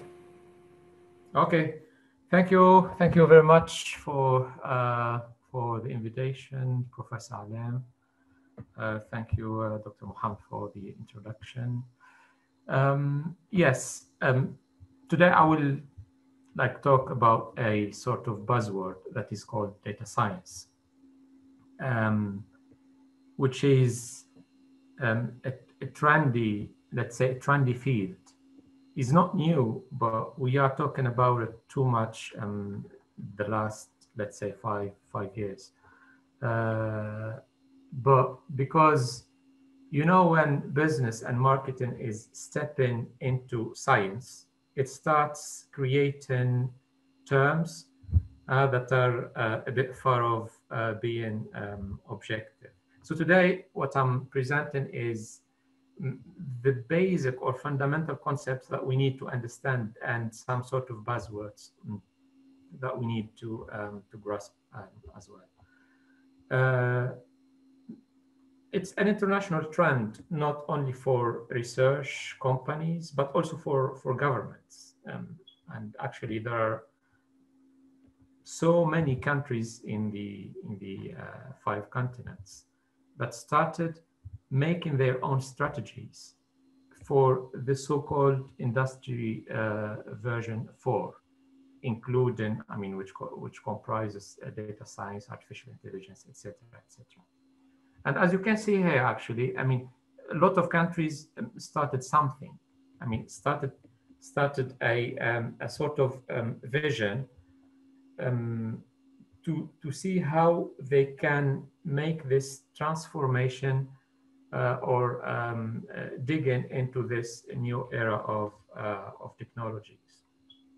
Even uh, African countries, like for example, Kenya here, I don't know if uh, you can see my arrow, Kenya started this in the in the early uh, 2018, then uh, then Tunisia, um, and so many countries started this. I mean, this is in terms of strategies, but also in terms of data. There is a, a platform or a program that is called the Open Government Partnership, which is um, a, a sort of platform helping governments to create better, let's say, better data. We'll see in the end of this presentation what does it mean to have good data actually? Um, I mean, let's say better data to, um, um, to facilitate accountability, uh, sharing data, reusability, etc., etc. And as you can see here, actually, um, still in Africa and Asia, I mean, of course, we understand why for China this is this is not an option, because they prefer to have their own ecosystem but um, mainly uh, Europe and um, the uh, Americas uh, are into this either by developing developing action plans or even implementing action plans. I mean, and in Africa, I mean, there is again uh, Kenya, Tunisia, Morocco. Uh, yeah, I mean um, that that that started as well implementing action plans to make their data, let's say for now, better. All right? So let's start with some fundamentals first. So here we are talking about data science, which is supposed to be now the umbrella for so many other uh, buzzwords, including AI, machine learning, deep learning, big data, etc., etc. However, you can find so many uh, so many, let's say, diagrams that are explaining somehow the relation between these different fields and, uh, and words. But let's stay, let's start from the very, very beginning. We are talking about data science. So let's start with, with, with data. And let's start maybe with some etymology that will make it maybe um, better to understand. So data actually is the plural of data. I know the term is not used in English anymore, but it used to be used. And is coming from the verb Latin dare. Dare means give, all right? So basically, data uh, or are, since it is plural, are provided things. We need to make, we don't need to make any effort to receive them, to perceive them, things that we can perceive. But for better, for better definition, it's an association between a thing, a thing, when I mean a thing, something that exists, all right, and a symbol. A symbol means something visual, so something we can see, something we can hear, something we can feel, something we can perceive in general and we can sense. So this is, so which means actually it, it is a form of virtuality that is, that could be perceived. Either, I mean, whether we could make an, a sense of it or not, it is something, it's a meaning, it's some sort of meaning I mean, we could understand it or not, that is another story, but it's some sort of virtuality, some sort of meaning. And this thing started with when human could give names to things. When human actually started associating, let's say, a voice to an animal, because they can hear that the animal is making that, that sort of sound let's say calling a bird like cuckoo or something like that. And as you can see here in the picture, actually, it all started from human and then anything else is associated with data because we simply name things. And it seems to be a peculiarity for human, actually. And this is, this is a huge, um, huge step into civilization. And that, that could maybe separate us from uh, the animal uh, kingdom.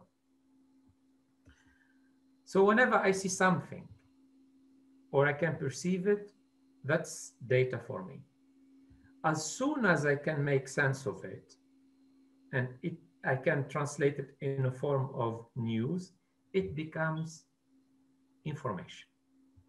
As you can see here, information is simply a collection of data that can take the form of news. Let's say, for example, A exists, or the population of the UK is, I don't know, 70 million uh, uh, people, right? Is something that could be true, could be false, or uh, could be true to some extent, or could something that we can make a decision about. And then if we go higher, we can build knowledge. And that is by associate, associating um, sets of informations in a sort of causality or correlation. Let's say, for example, here, if A exists, then B exists as well. So you can translate it into a rule which means, for example, when and and I say you can translate it is, is it doesn't always comes in the form of a rule. Let's say, for example, magnets, uh, let's say, attract iron. This is a rule as well. Because you can say, if I have a magnet, I have a piece of iron, then there will be an attraction between them. So you can translate it. As you can see here, um, so the first step, the first level is data, then information, which is a collection of data, and then knowledge itself, which is collection of information linked with causality or correlation uh, logic. Um, there is a process that allows us to generate more information. For example, for, for for example, with this case, I know that A exists or exists. And I know as well that I have a rule saying if A exists, then I should expect B somewhere. And now I know that A exists. So I can infer simply that B exists as well. So this inference is when you mix here a piece of knowledge, a piece of information, you might get new information. All right. To summarize um, this, um, you can think of it in this form of taxonomy. You have a big circle of data. As soon as we can make some sense or we, and we can understand the meaning of some collections of them, we get into the blue circle of information. As soon as we can understand the mechanisms or the, the law or the rules that are governing relations between these piece, pieces of information, we get into knowledge. All right? And of course, we can generate after that more blue uh, things, I mean, more, more information, I mean, using the inference process. So this is uh, data, okay? And now, so we are in the topic of data science. So what is maybe data science?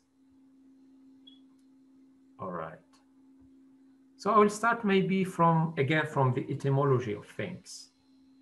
So we saw what data is in terms of etymology. It is something given, something we can perceive, some sort of virtuality. Science is from uh, uh, scientia or scientia from, from Latin, and the verb is scire, which means in English to know.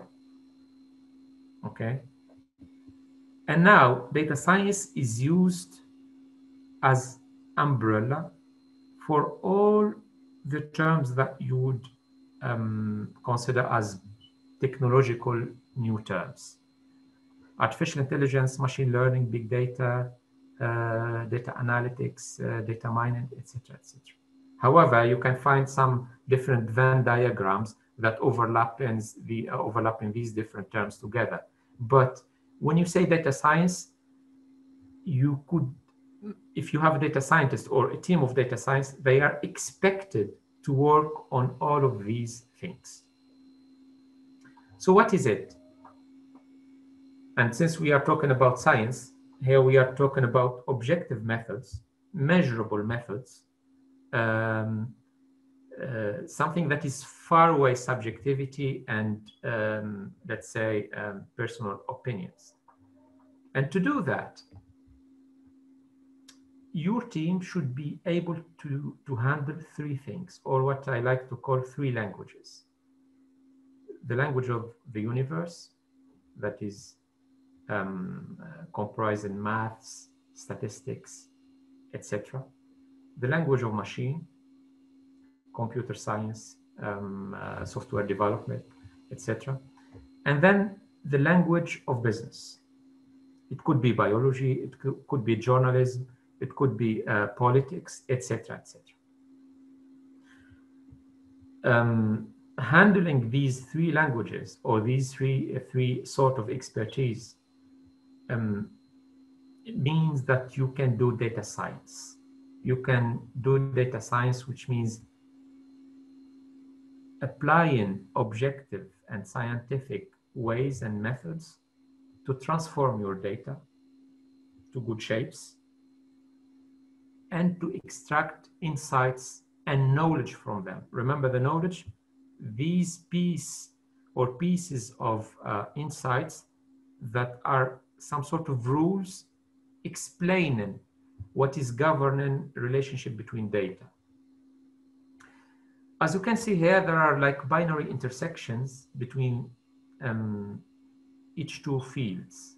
For example, if you do computer science development, etc., algorithmic, and math, so you can be able to devise new machine learning methods. Um, traditional uh, research is based on knowledge in a specific domain, as well as knowledge in statistics and maths.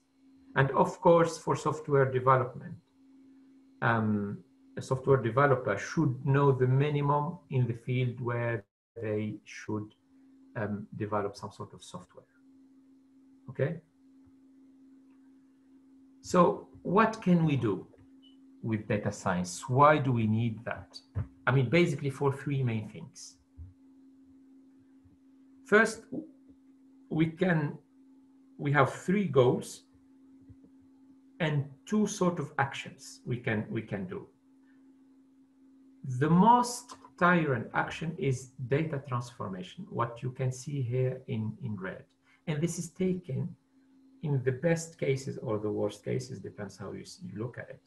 50% of the effort, sometimes is 90% of the effort. When you need to transform your data, for example, you, you need to make a lot of transformation even before, for example, reaching some goal of, I want to know if this uh, customer would be solvable if I give them some loan or not.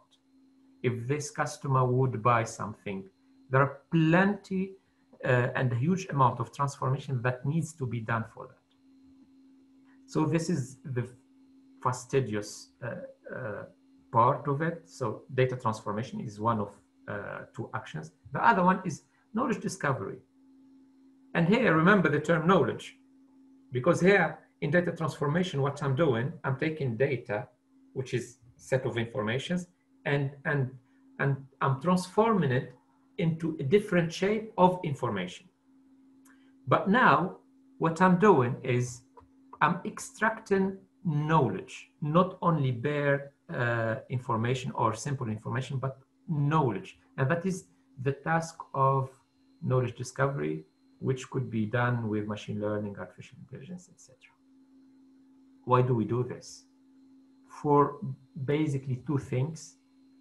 And the third that could be based on the two.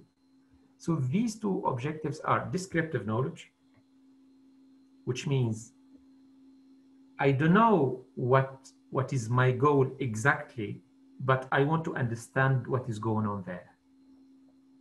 Let's say, for example, the distribution of age, the, the different um, uh, subgroups in some sort of community, the different communities that are uh, using, for example, uh, social media in a given country.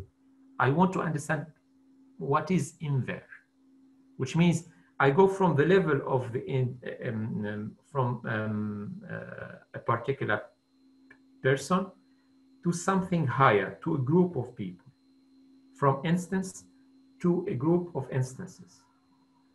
That is the descriptive knowledge. The predictive knowledge is more granular, which means I want to label, to give a label or to predict a label to an individual. I want to know if they are left wing or right wing. I want to know if they will be solvable or not. I want to know if they are interested in this movie, in that product, etc., etc. Both for, I mean, both descriptive and predictive can allow people to to make prescriptive knowledge. And, and that is when you have, for example, a problem.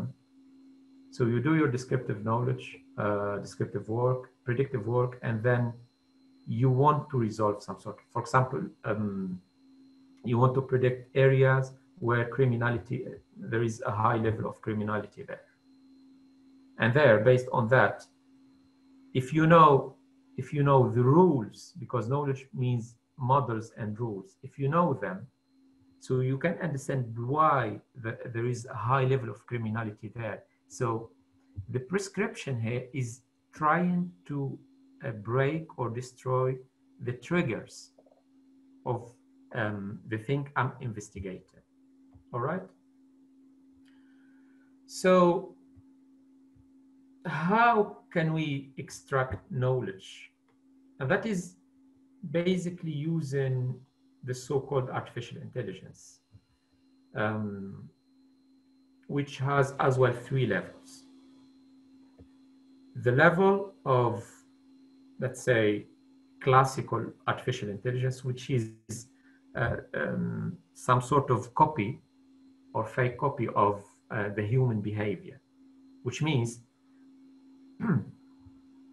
uh, I have a seed of knowledge that I inject into a machine, and then the machine should behave based on, on that.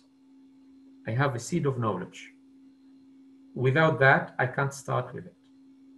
All right.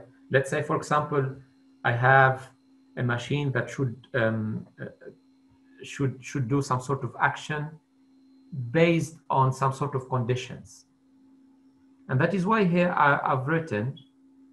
Um, so you have seed of knowledge that is necessary, and from it, you can do you can generate new information here. K for knowledge, I for information. You can generate information and when I say information, it could be an action as well, or a decision. I mean, information is the umbrella for action, decision, or some any, anything that could take the form of news. Or if I can do some reasoning, let's say uh, A implies B and B implies C, so I know that A implies C. So this is this is the very classical artificial intelligence. All right, which requires an injection of a seed of knowledge, a set of rules. From that set of rules, more rules could be built and more information and decisions uh, could be built as well. Uh, I don't know how much time I have. Do I still have some time? Not, you still have 10, 10 minutes, roughly. Oh, okay. All right. Uh, I still have 10 minutes. Sorry, yes, 10 minutes, just under 10 minutes. Okay, okay, yeah. So, um, and then machine learning. In machine learning, actually, we don't need to have any, any sort of um, initial knowledge. We don't need to have any sort of initial rules. We just need an algorithm that is external, and then I have a set of information. And then I generate models all right? Deep learning is more specific because we don't even have sensible or meaningful information. We have only data. And then information is built, and then knowledge is built upon that, is more specific. So what is what is big data? And I will I will try to to do uh, quick here. Uh, actually you uh, maybe some of you heard of the three V's or the three dimensions of uh, big data. Uh, and they said that we can talk about big data when we have big volumes of data, um, varied and complex structure and non-structured, etc. And um, it could have two forms of velocity. It could come in form of batch or in form of, of streaming. And okay, three dimensions, they all start with V. What a coincidence, actually. Though this is okay, but some other people want to, to be more in, innovative. So they said, oh, okay, let's add veracity. So it's not 3V, so it's, it's 4V then. And veracity is how accurate the data is. Uh, it seems like here, a battle of V. So we are getting into, into this kind of um, pseudoscience that is more about impressing how I can express things. And of course, you know the rest, or maybe not. Then we have five V's, six V's, seven, eight, and now we have 16 V's. And guess what? They are all V's. You know, actually, uh, viscosity, uh, visualization. Come on. In the end, in the end, what is there? What is what can we get from this uh, buzzword? We don't need to care about these V's. We got some sort of idea. It's simply maybe this. Big data are data that have scale, diversity, and complexity that require, require new approaches, in, new hardware, this is it. It's something that is bigger than my capacity or my the capacity or of my facilities to handle it. And now, when talking about big data, we are talking more of uh, technologies or new approaches that are handling these data rather than describing how the data should be and the different V's of these data. And just to give an example, Hadoop ecosystem is the most adopted um, stack or package of big data technologies that is uh, widely used uh, now. data and decision. I'm going to be quick. There are so different ways to take decision. Using democracy, using dictatorship, using balance, using based on your finance, uh, asking customers, etc., etc. But we'll always find people like this. These gods of knowledge, they know, they know they're right, okay? And uh, you, it's better to not argue with them. But you will find as well other people like this, this wise man who said, without data, you are just another person with an opinion. And this is it, actually. This is the point. To be just here to introduce the term of being data driven. I make my decisions based on data. That's it. Uh, it's not a question of ego, but somebody else made it more, uh, made a good compromise maybe. If we have data, and this is one of the former uh, CEO of Netscape, he said, if we have data, so let's look at the data. If all we have are opinions, let's go with mine okay? So maybe is is a good way as well to do things. In the end how to be data driven because you will find so many things that are saying okay this is data driven company etc data driven so what is that? Basically people who do the sales don't know what what what, what being data driven is. It is simply this. Analyzing data getting insights from data taking action on the light of these insights. And then there's something very important here. I need, I need to have a trace. My action and my decision should generate new data. And then I go and I make my loop. And this loop will always um, get better with better insights, with better decision, etc. Like a baby learning. This is being data driven.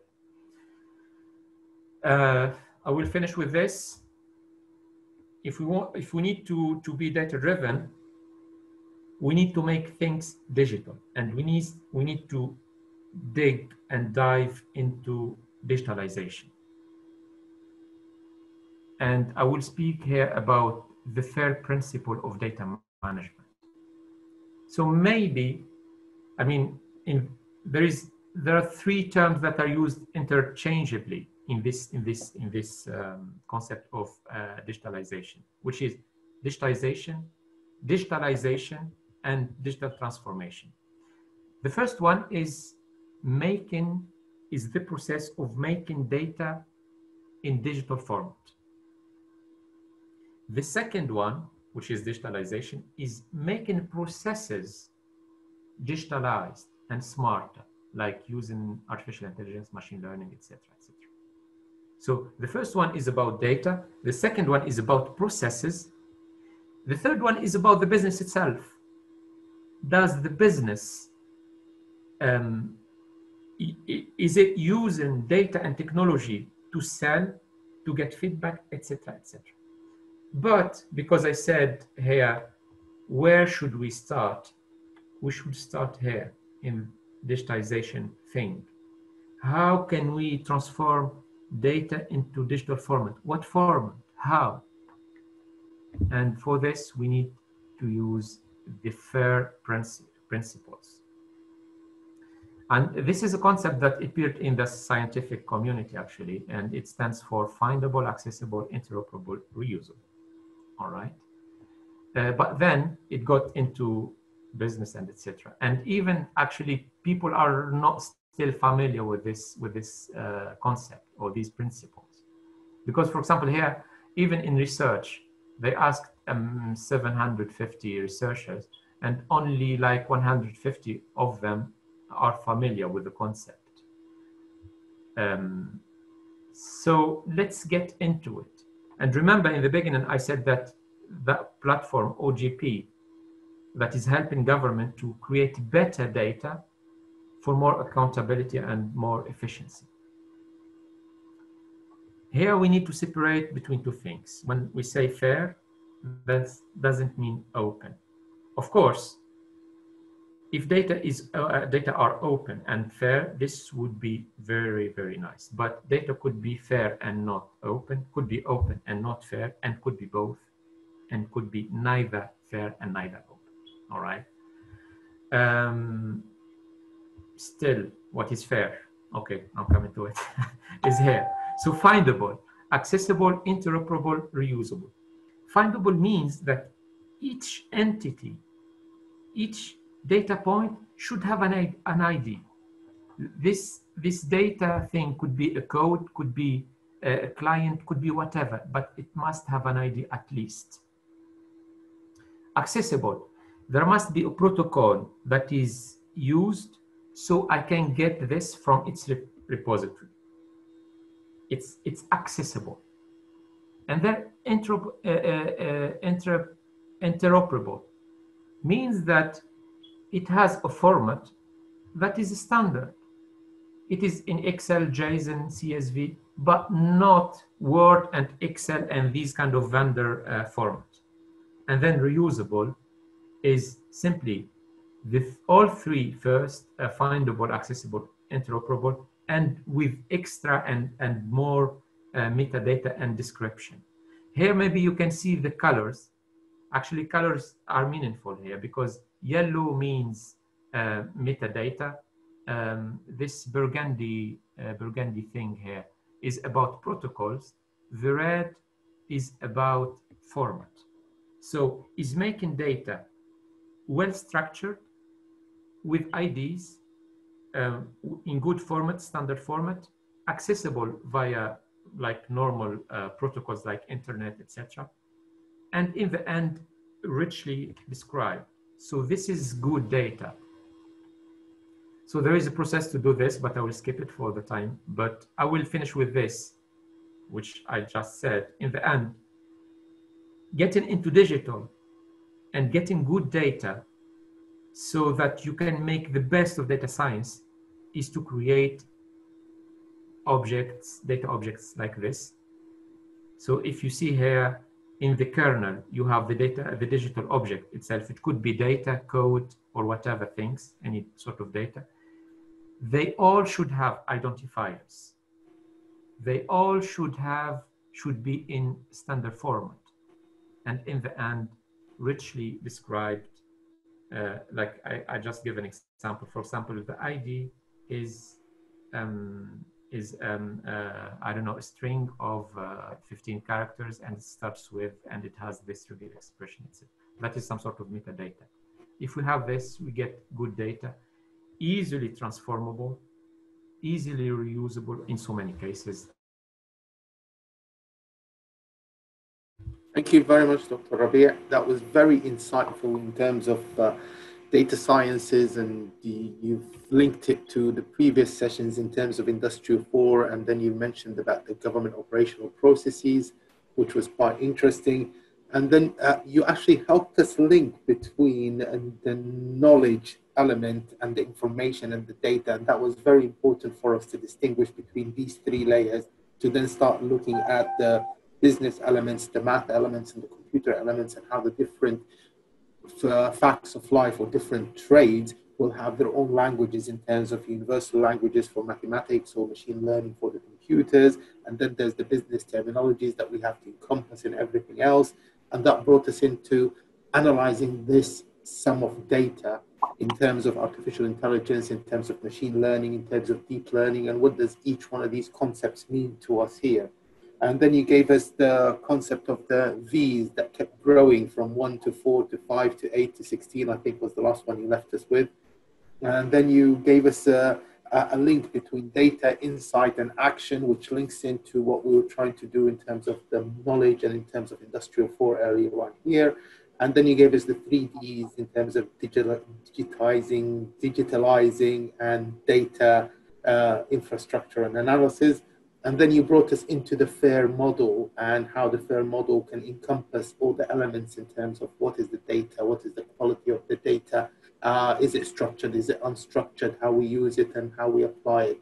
And it's been very, very insightful for us to actually get to know what we talk about when we mean data.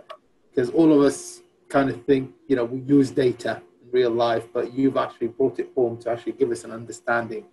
And uh, I'm getting an array of questions popping in through here. Okay.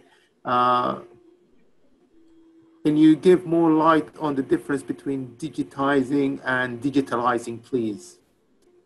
Okay, so actually digitizing is related to data itself, and that is the last part and the, part that where uh, I, I focused more on how we do it is focused on data itself, how we can um, um, is the overhaul or the recast of data um, to make it like an easily reusable ref, um, uh, is, is the, the process of refining data to make it ready to use with the less of transformation later on if I want to do something. So it's focused on data. Digitalization is more focused on processes, which means if I want to predict something if I want to predict an association between, for example, um, a, a, problem, okay, and uh, some category of people, what sort of algorithm should I should I use?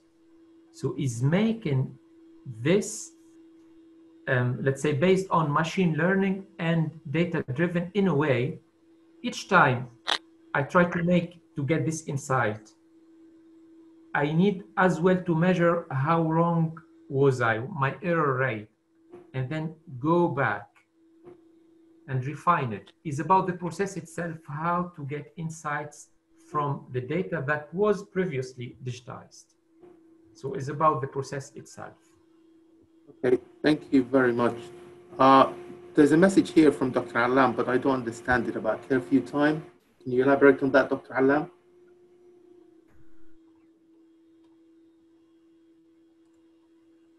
You're muted, Dr. Allam. No, no, no, sorry. Uh, this is a message actually from Professor Joseph Natai from Uganda. He is going to leave us shortly because of the curfew of the timing, you know, because of the time difference. So okay. I just suggested to give him uh, one or two minutes just to say a concluding remark. He has, you have been, Professor, an outstanding uh, contributor to this conference. Yesterday, your talk, your continuous discussions throughout the conference has been amazing. So I think if with the, with your permission, the moderator, if you give Professor Joseph just a few minutes to to say a few remarks before he leaves, because uh, I think you have to leave, otherwise you'll be locked in the university. Please go ahead, Dr. Joseph.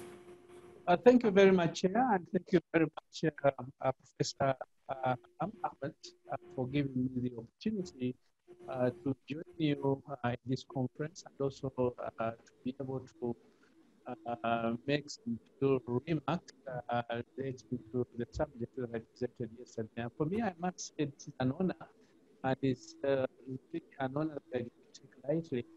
Uh, but the opportunity in the joining you and attending more of these conferences whenever you organize them.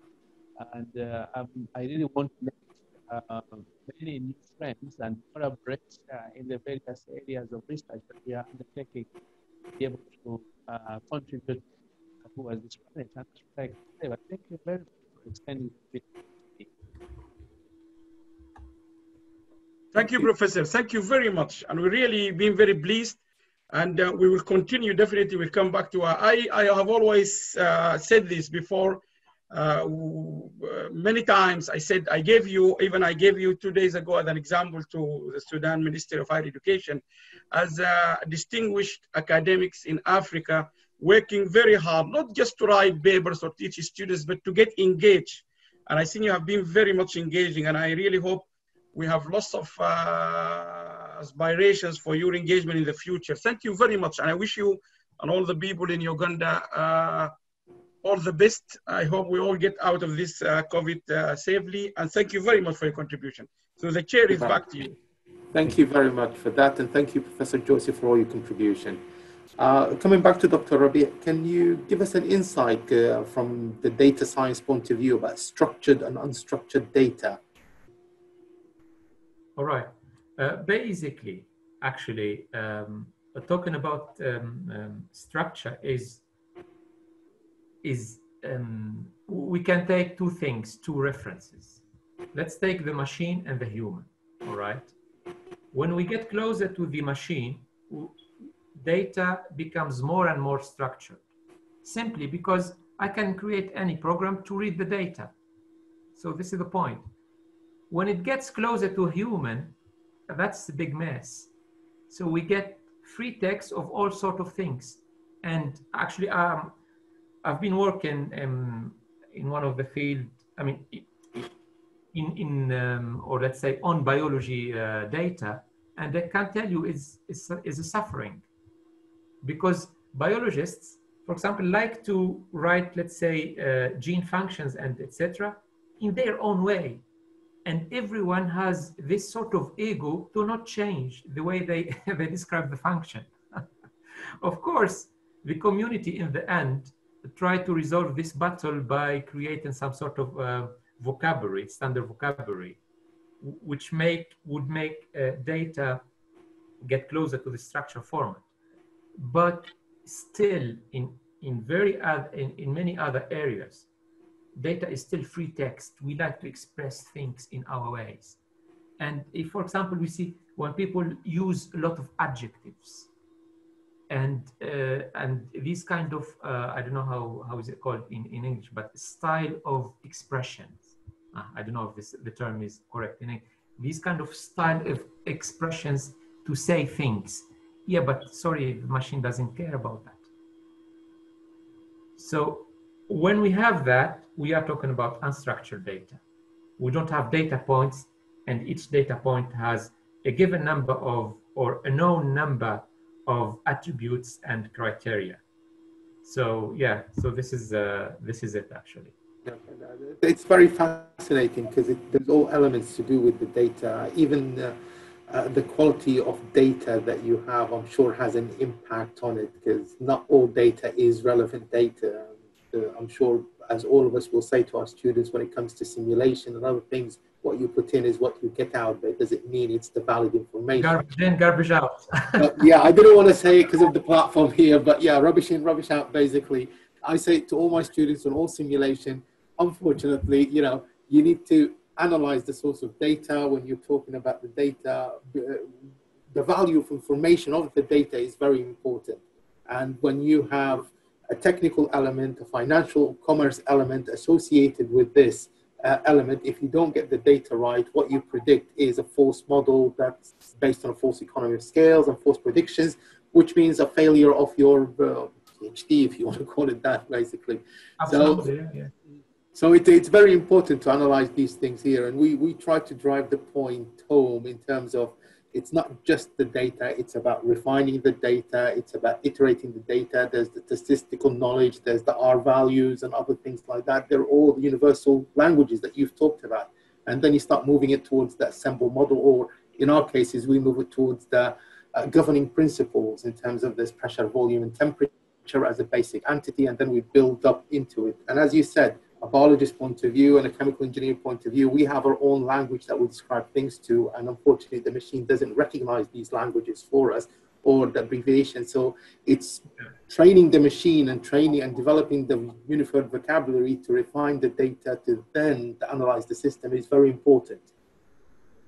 Actually, um, um, for anecdote, actually, I, I, had a little argument with the, one of the chancellor of the, um, uh, let's say, prime prime ministry in, in, in, in, uh, in Tunisia because they are trying to create a system to track all sort of, uh, let's say, uh, all sort of uh, money flows and if there are corruptions and stuff. Uh, the thing is that I asked them that there's some text, some legal text, for us to get knowledge from them, we need to to force some sort of format for that. And she said, no, but the way of writing these legal texts is an art. We are not given this. Yeah, but I told her the machine doesn't care about art. We can yeah. put that in video, but not, we cannot give this to the machine actually. Uh, yeah, I mean, um, so it's, it's, it's, it's, it's as well a battle of making people understand this because I understand why people don't like this sort of dry uh, information without soul, as they say, and stuff. Yeah. We need some in, I mean, some some let's say spell of of art or uh, yeah, you know.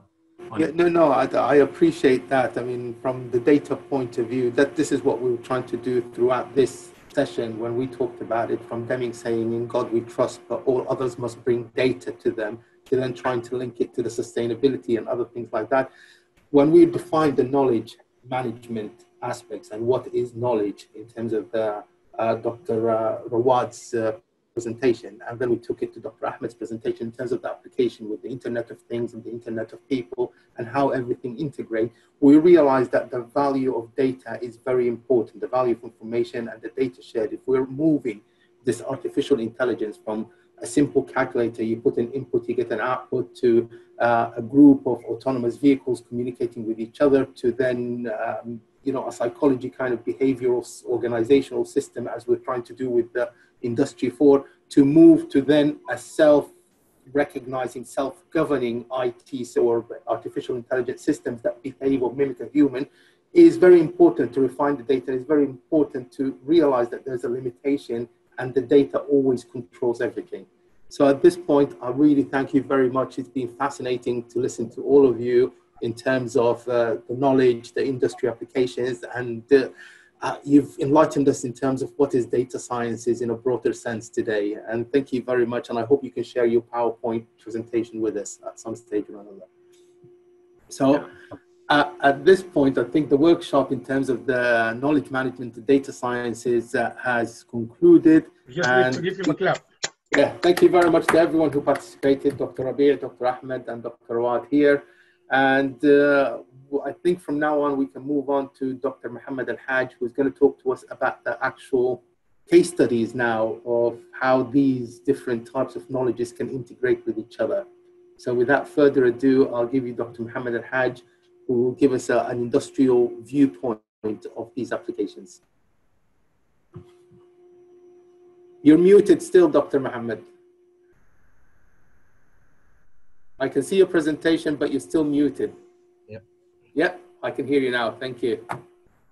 So thanks everyone uh, uh, for the opportunity, uh, and you know thanks for the presenters and you know for the organizer as well.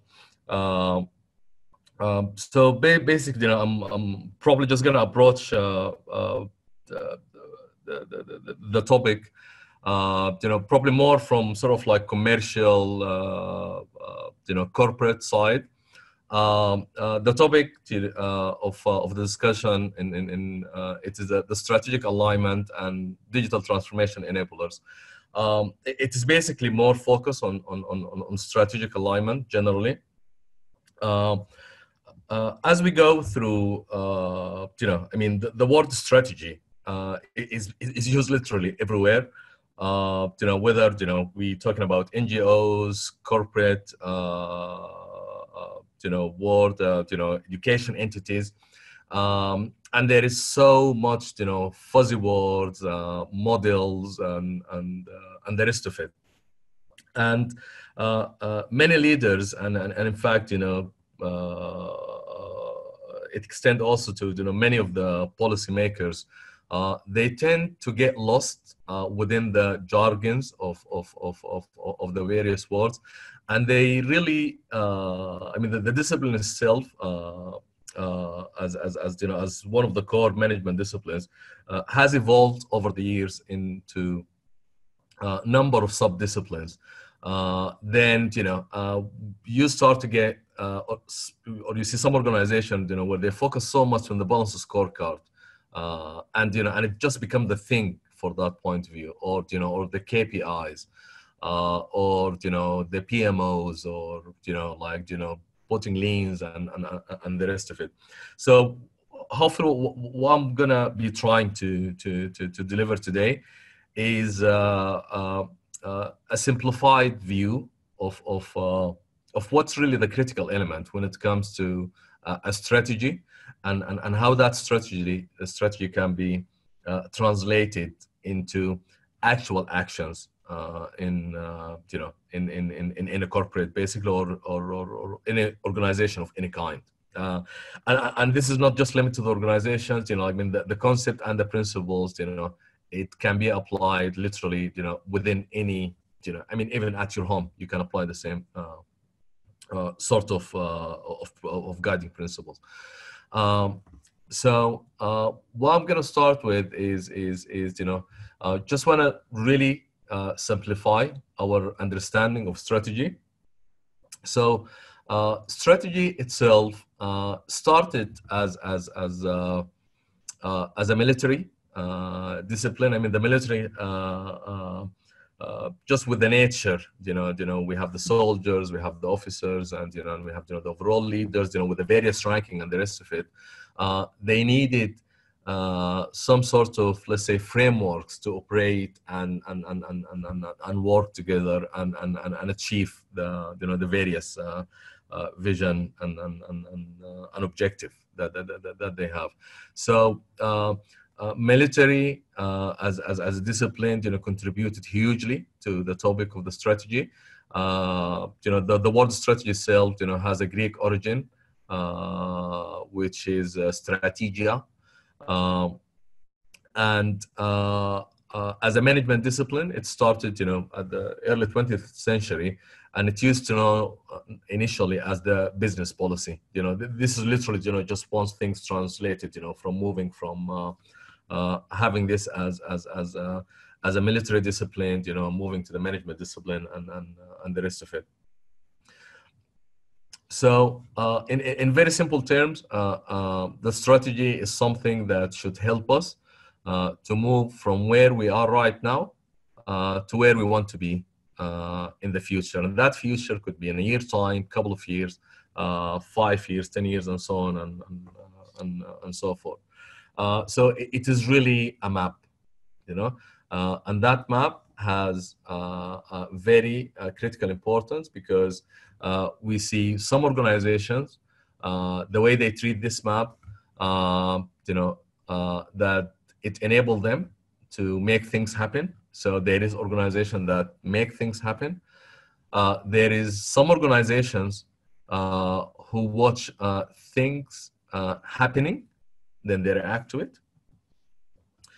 And there is other organization who really wonder what happens you know, lit, you know, it is quite obvious that you know uh, the majority of the organization they really want to be at, uh, you know driving things and making things happening, you know, uh, and cascading those activities and the rest of it, you know, uh, you know, throughout the organization.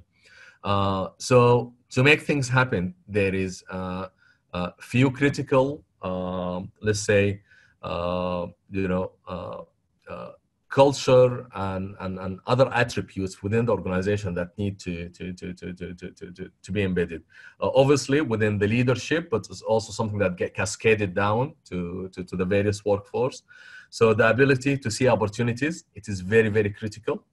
Uh, you know, having clarity on, on, on, on, on, on the direction.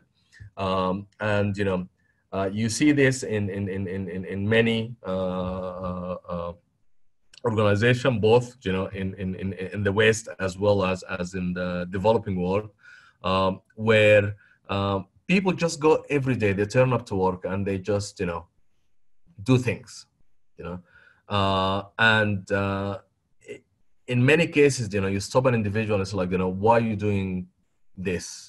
Uh, or you know, why you're doing things the way you are doing? Uh, and you know, you would be surprised with the percentage of individual that you know they just wouldn't really have a clear answer you know um, why they're doing what they are they doing uh, the ability to analyze you know what's happening externally outside the organization you know uh, it is something quite critical uh, i mean we see now uh, as an example of that you know with covid uh, many organizations you know try to uh, uh, really respond to that. You know, so they've looked at the external environment. Uh, the new world uh, with COVID is completely different than what is is is is, is happening before COVID. You know, the conference we have right now, you know, with the level of engagement, this is something which is probably um, would have been a little bit hard to imagine uh, that you know you could really have something as successful as this in in in in, in, in you know while working remotely uh, you know, we see so many consulting organizations right now. They have like you know, um, COVID offering, you know, to enable remote working, uh, uh, you know, time management, uh, uh, remote assessments of individuals, and the rest of it. Uh, so you know, the ability to really you know touch and sense what's really happening outside your organizations and how that can impact uh, the organization, then use that as an input uh, to uh, drive the way you do things. Uh, that's quite critical. Uh, then there is, you know, the various things like, you know, uh, the ability to, you know, solve problems, you know, the ongoing planning and the update of those planning based on the various element and, you know, being able to really, you know, rapidly adjust the way you do things. And obviously, uh, the ongoing uh, implementation uh, of, of, of what has been planned, and really having that culture of, of accountability. so, you know, organization where, you know, um, everyone really is focusing not getting not to get into troubles. You know, normally the overall performance is not really that great. Uh, um, where leaders, uh, you know, use uh, some of their direct uh, employees and, and, and, you know and or, or or even you know other stakeholders outside the organization as scapegoats and things like that. Uh, normally the, the, the, the, you know this organization who cannot really perform. So really uh, uh, uh, the the stronger are the organization in these points the better they are positioned to uh, implement uh, and, and, and, and, and uh, deliver strategy. So we've came up with very uh, specific, you know, like very, very simple uh, framework that, you know, we use throughout our engagement with, with, with clients where, uh, you know, we talk about strategy in terms of, you know, so, you know, a strategy, you know, it goes through the various phases. Um, uh, we start with developing the strategy. So that's something that needs to be done. Then uh, we take that strategy and we translate it into something that meaningful and digestible to the organization in, in, in, in, in, in the various areas. Then uh, there is a phase of really aligning the various components of the organization with, uh, with that translated strategy. Uh, and from that point, literally, uh, just going and, and, and, and, and, and doing the planning and so on and so forth. So to develop a strategy, and I'm not going to spend so much time on this. Uh, there is uh, this planning cycle uh, that uh, really critical to do. So, uh, which is again, it, it talks to some of the point that I was talking about earlier. So, you know, the ability to analyze the environment and probably you guys heard about you know things like SWOT and PESTLE and and you know the various business models and you know doing interviews, surveys, and things like that. All of this is literally uh, just going through and doing an analysis of the uh, uh, uh environment, you know, both internally and externally. Uh, then there is some strategy fundamental, mission, values, vision is what people think about all the time, but it's it's literally it is just a bridge. Uh, it is a bridge uh, to go and set some sort of like initial blueprint on uh, to basically answer, you know, the very key two questions, you know, uh, what do we want to do and how are we going to do it? Uh, then there is, uh as you go and develop, there is things like strategic themes, uh, which is, you know, the key areas of focus across the organization, you know, uh, the change agenda and how that's supported by the leadership and how that also, you know, supports some of the strategic aspirations. Um, and you see all this all the time uh, very clear on organization who achieved major transformation uh, there is always really strong strategic aspirations that cascaded throughout the organization uh, then it come the next stage after that is actually the translation itself you know where you know we write about the objective we do the kpis and and and, and you know we do the planning and the rest of it uh, and the cycle continues so some organizations uh, uh, uh, do this every five years. some of them they do every 10 years. You know, some organization they have a yearly planning cycle where they actually revisit uh, uh, you know, this cycle, but literally, you know, this is the overall strategic planning cycle. Uh, moving from that, uh, it comes to the, you know, how we translate strategy uh, into, into, you know, an actual actionable items throughout the organization. And, and this is normally the stage where many organizations fail. Uh, so, you know, you've got, you know, uh, you know, leaders with policymakers, you know, they will come and, you know, they will bring, you know, McKinsey or, you know, uh, the, the, like, uh, Booz or, you know, some of these, you know, big strategy house, and they will come and they will, you know, draw a very nice uh, strategy map. Uh, they will hand it over. Uh, and when it comes to actually translating that strategy into actual actions, normally uh, this is the area where things can be quite challenging. So if you look at the triangle we have right now, at the very top, you know, there is the aspirational side of things, and at the bottom, we have the tangible in terms of what can be achieved. Uh, unfortunately, uh, the main reason for the majority of the failures uh, uh in transformation uh, generally is, you know, the, the, the, the fact that, you know, everyone is focusing on, on, on the top side of the pyramid. Uh, and the more you go down, the further you go down, uh, is the is the area where there is literally there isn't that much focus because um, that's literally when you do the hard job. Uh, the other thing um, uh, on things like uh, you know uh, vision and mission, there is um, lots of bad practices. In fact, you know even across the consulting. So, for example, um, it is quite common that people will come up with vision in terms of you know we want to be the best organization to deliver so and so. Uh, then they have the mission which is you know what do we do you know? And and, and ideally uh, when you work with a strategy the very first thing you should do is work out your mission not your vision. The reason being is the mission is why is the reason why do you exist as a business you know or as organization you know? So uh, if we are into car making, you know, our mission, you know, will be, you know, building a car. You know, the vision might be, you know, being number one, you know, car manufacturer in whatever discipline. You know, so uh, you cannot really set the, the target before you are really clear about what you're going to do as the business.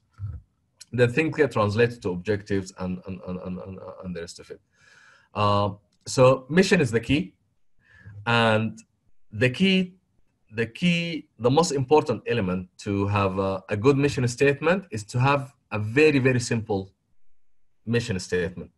So um, the majority of, of let's say you know you know like FTSE 200 uh, FTSE 100 or FTSE 500 in, the, in, in, in sort of like the US um, these successful big organizations they have normally very very simple mission statements so if you look at google you know their mission is to organize the world information and make it universally accessible and useful. It's as simple as that.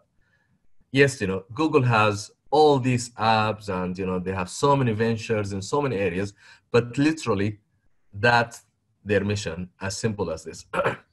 Uh, linkedin you know they want to connect the world professionals uh, you know, and make them more productive and successful. eBay to be the world favorite destination for discovering great value and unique selection.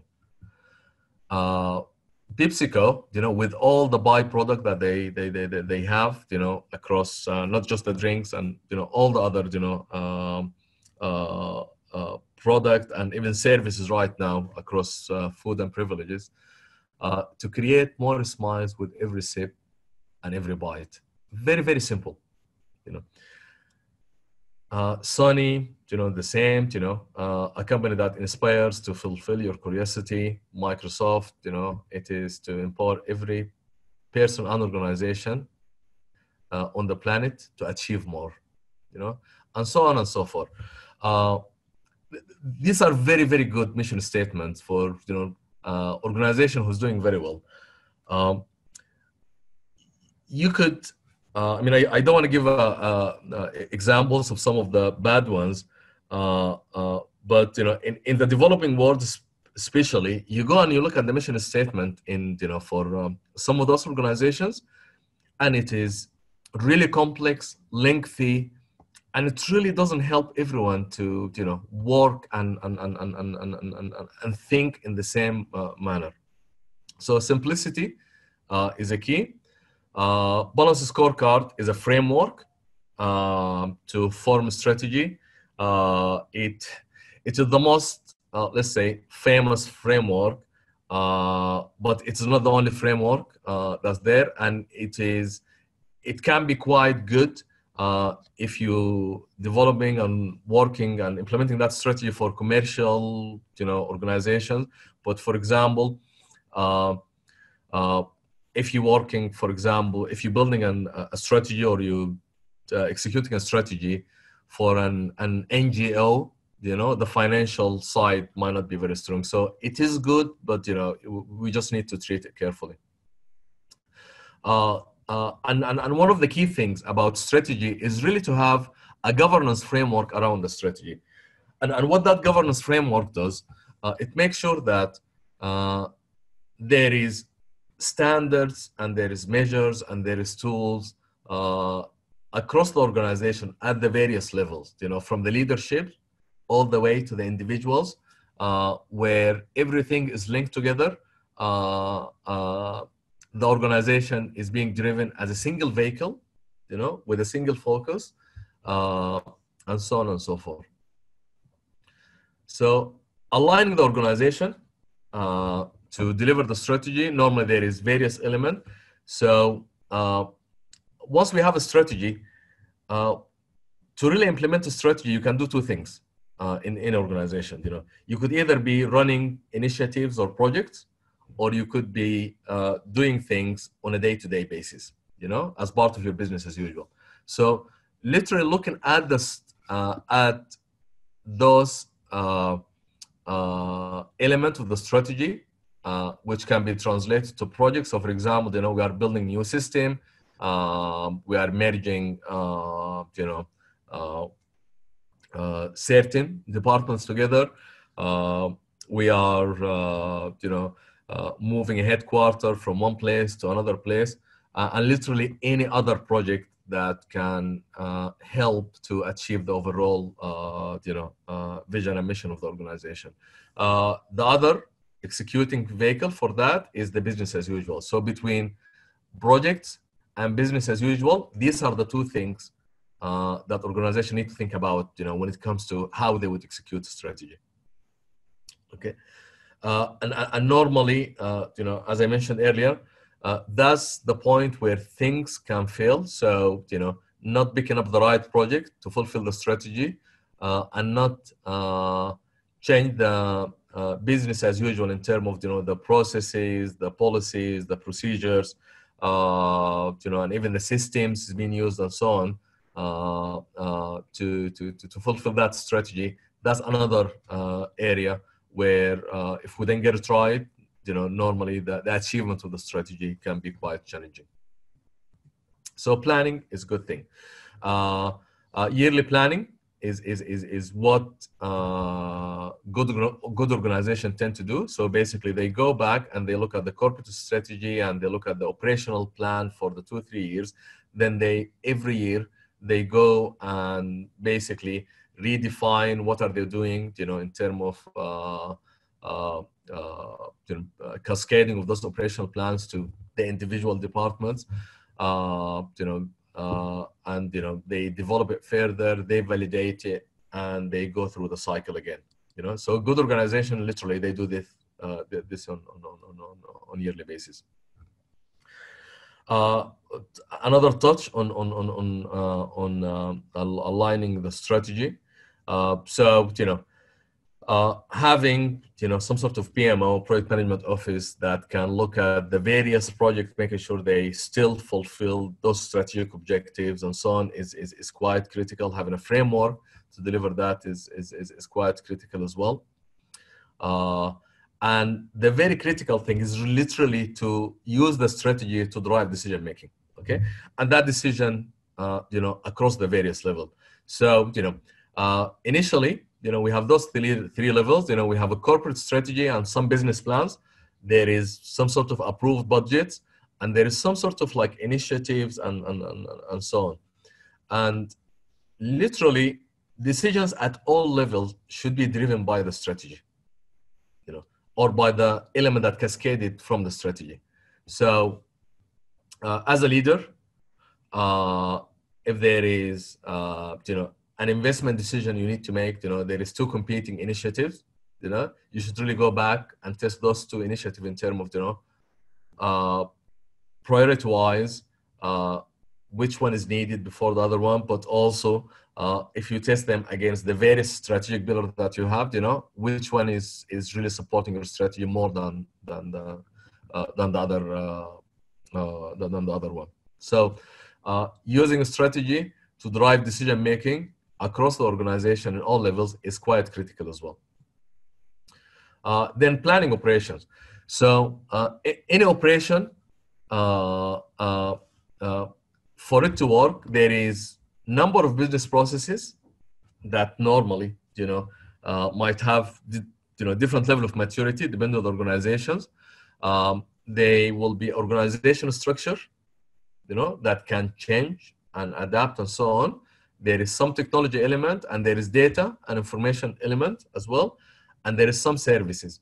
So literally all these, uh, uh, if we call it, you know, organizational facets, uh, they need to be connected together the business processes should be driven by the strategy uh, and the way the organization is structured.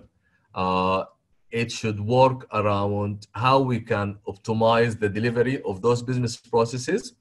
Um, when we implement technologies, uh, those technologies should be designed on the basis of how those business processes uh, are, uh, you know, being gathered and formed and optimized and so on. Uh, when we look at data and information, uh, I know my colleagues, you know, probably touched into this in way more deeper, but in, you know, for us in, in, in, in, in, in very high levels, you know, uh, what data and data clusters uh, that we have uh, across the organization, you know, uh, what standards that's being used, you know, for information classifications, for security, and so on and so forth. Um, um, the other element to really realize that strategy as well is, you know, is literally uh, the way we design our business processes uh, to use all the inputs in terms of, you know, uh, what are the quality criteria, uh, what are the strategic context, you know, what the market imperatives and, and, and, and, uh, and so on and so forth. And at the end, you know, really having things integrated together. Uh, so, you know, what the finance team is doing versus uh, what the procurement team are doing, you know, it need to gel together. Uh, the way the HR manager is hiring resources, it really need to support the, the, the, the, the overall strategy of the organization. Um, the way you know your procurement function operate. I mean, like uh, as an example, um, uh, I had one client recently uh, where the procurement manager was really, you know, like the personality of that individual was like really, really sort of like, you know, driver and strong and the rest of it. Um, uh, but he was not really supporting the core business. So, you know, he wanted to do things in a way uh, which uh, he felt it's best practice. Uh, you know, it make that department shine but it doesn't really support the core business. And, and, and, and, and this is really due to the lack of uh, common strategy, common goals, uh, and common framework of, of, of developing, uh, delivering, and cascading that, uh, that strategy. I'm gonna jump on that one. Okay. The, the, the final uh, areas uh, on the strategy is the ability to monitor the performance of the, of the strategy on the various level as well you know so uh, really uh, having um, a, a performance management framework which is measure things at various level you know so if you look at the left hand side there you know this is you know just an example you know uh, we have sort, sort of like, you know, like, let's say on a government level, there, there was number of uh, strategy uh, drivers. Uh, then we have an example, a Minister of Education, um, you know, they really needed to look at those government uh, strategic drivers and use it to form its own drivers. So, for example, you know, um, if the government has an overall uh, strategic priority uh, to uh, excel in export and import, or to you know be an IT hub and things like that, the education should really follow that. then when you go one level down in terms of you know a department within that uh, you know ministry uh, they should really be looking at you know what are those strategic uh, drivers at the ministry level and how they can contribute uh, to it. So you know they, they, each department might have their own departmental plan for the year uh, but again those departmental plan they should really be aligned you know with the overall uh, ministry uh, then it goes down all the way till we get to the employee level, the individuals there. So each individual in each department, uh, they should really have some sort of like uh, uh, uh, uh yearly objective that really support the department objective, which support the minister objective, which support the government objective, you know? and without really this proper cascade down, you know, you can't really deliver your strategy. You know, it, it is literally just, you know, is, is, is, is a nice piece of paper. You know, if you can't cascade it, you know, it is not really, uh, uh, you know, uh, of a great value. Uh, this on the left, but when you look at the right hand side here as well, uh, yes, we need to cascade things down, but also we need to measure things. So the same way we've done the cascading down, you know, we measure things up also in, in, in, in very similar manner. So we manage employee performance based on the individual objective that's that they've created and support their uh, departmental plan. We manage the performance of divisions, you know, based on the KPIs that they've agreed initially, and it was part of uh, the measurement for the objective that they set internally to support the the, the, the, the, the, the ministry generally. And the same for the ministry. Yeah. We're running out of time. Okay, so I'll, I'll, I'll conclude quickly. Uh, and so on and so forth. Uh, so uh, the, the, the very last uh, slide is, uh, this is a story of, uh, of, of John Kennedy. Um, and and basically, you know, he was working in walking around NASA headquarters, you know, in 1961. Uh, you know, looking at the facility being introduced, uh, you know, uh, to various people, and he looked at the janitor, uh, you know, who was actually mopping the floor at that time, and he asked him, you know, uh, what do you do here? You know, so like John Kennedy asked the, the the janitor, what do you do here? And the answer of the janitor was, you know, I'm helping to put a man on the moon. You know, that's how you know the, the vision of the organization was cascaded all the way down to uh, to the lowest level, you know, uh, or you know, across the organization, and that's really demonstrate you know good understanding of the vision, really wanting to be part of that vision for that organization, uh, and being engaged, and really feeling the contribution because you know the janitor is not less than anyone else in in, in the organization. They have a vital role uh, and you know, without we are all small building blocks, you know, and without those individual building blocks, you know, we can't really, uh, you know, deliver and and, and, and contribute. Uh, so uh, I'm gonna jump all these. Uh, do we have uh, two minutes for a small video? Yeah, okay, two minutes. Okay. Sorry. So basically, this is. uh, I mean, I normally we go through sorry. Uh, so th th this is one of our uh, products. Okay, I'll, uh, Dr. Mohamed, I'll, I think I'm having technical difficulties, so I think I'll, I'll stop here. I'll share the link uh, after after this. I, I heard Mohamed, sorry to interrupt. You can carry on the question and I will find it and I will uh, upload it for you. Can share it, yeah. No. Okay, You no can problem. go for the questions, uh, Chair. Okay, thank you very much. I mean, uh, Dr. Mohamed Elhag, thank you very much. This was a very insightful presentation. It helped tie in the entire day together. Uh, I mean, when you your first presentation, your first slide, when you said the words SWOT and PESTLE, you gave me nightmares. Reminded me of the nightmares of my MBA days, but they're all behind us now. And then you started linking into the vision and the mission and you started bringing in these business acronyms and i was trying to see how this is going to link in together. But you defined it very well in terms of what is the strategy for the company or the organization or the government and how does that manifest itself into an operational side of things i.e the day-to-day activities rather than just the general vision of it and then from then on, you linked it to the data, all the sessions that we talked about, about the transforming, knowing the company and understanding the values, the value of communication. And you brought in the data element and how data drives the operations, which drives the vision, which drives the strategy.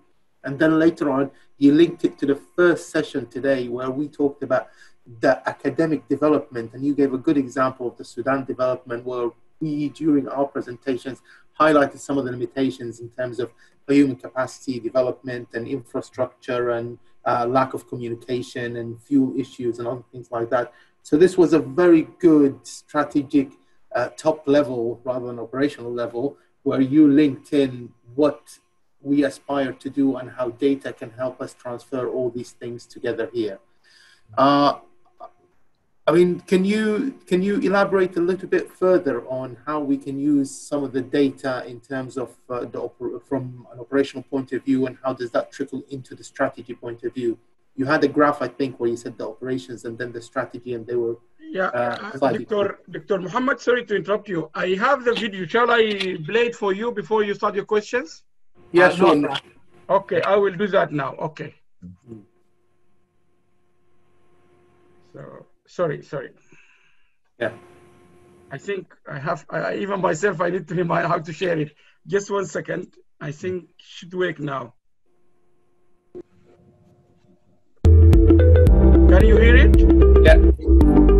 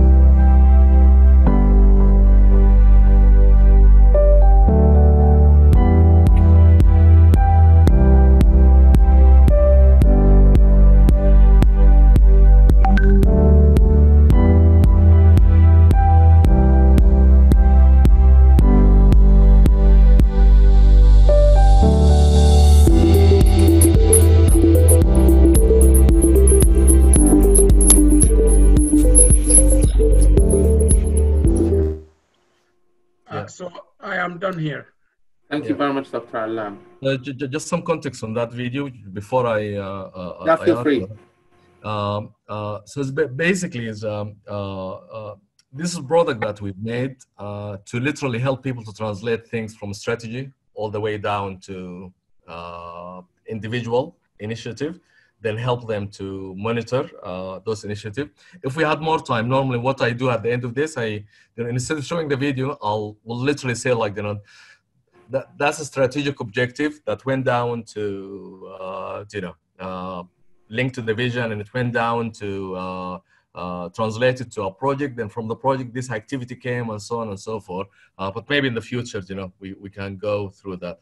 So uh, answering the question, you know, the, the, the link between data and uh, uh, and strategy.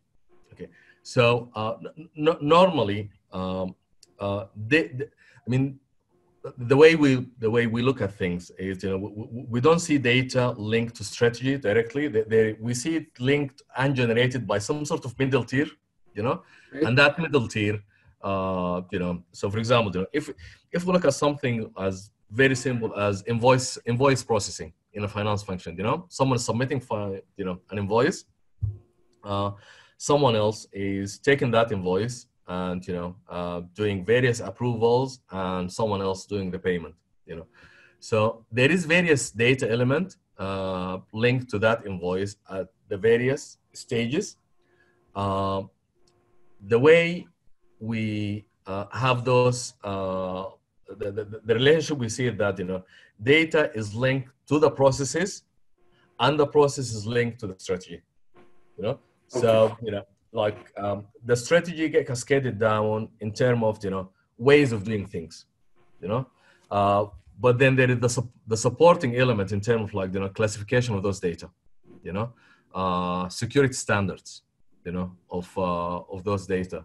Uh, reutilization of the data. So for example if if our business process is is in, is very well integrated and it's end to end you know some of the concept of you know entering data once from a system point of view you know can be implemented uh, successfully you know uh, but you know uh, if um, and you see this a lot i mean we see this normally in system implementation when it come and and you know you have to go and input something and in a different system on a three screen later on you go and input the same thing you know yeah. and, and and and normally the the the, the, the that divider and, and that break in, in, in the journey is related more to breaking the business process itself. So the business process that was used to develop the system, which is driving that data, is, is, is broken itself.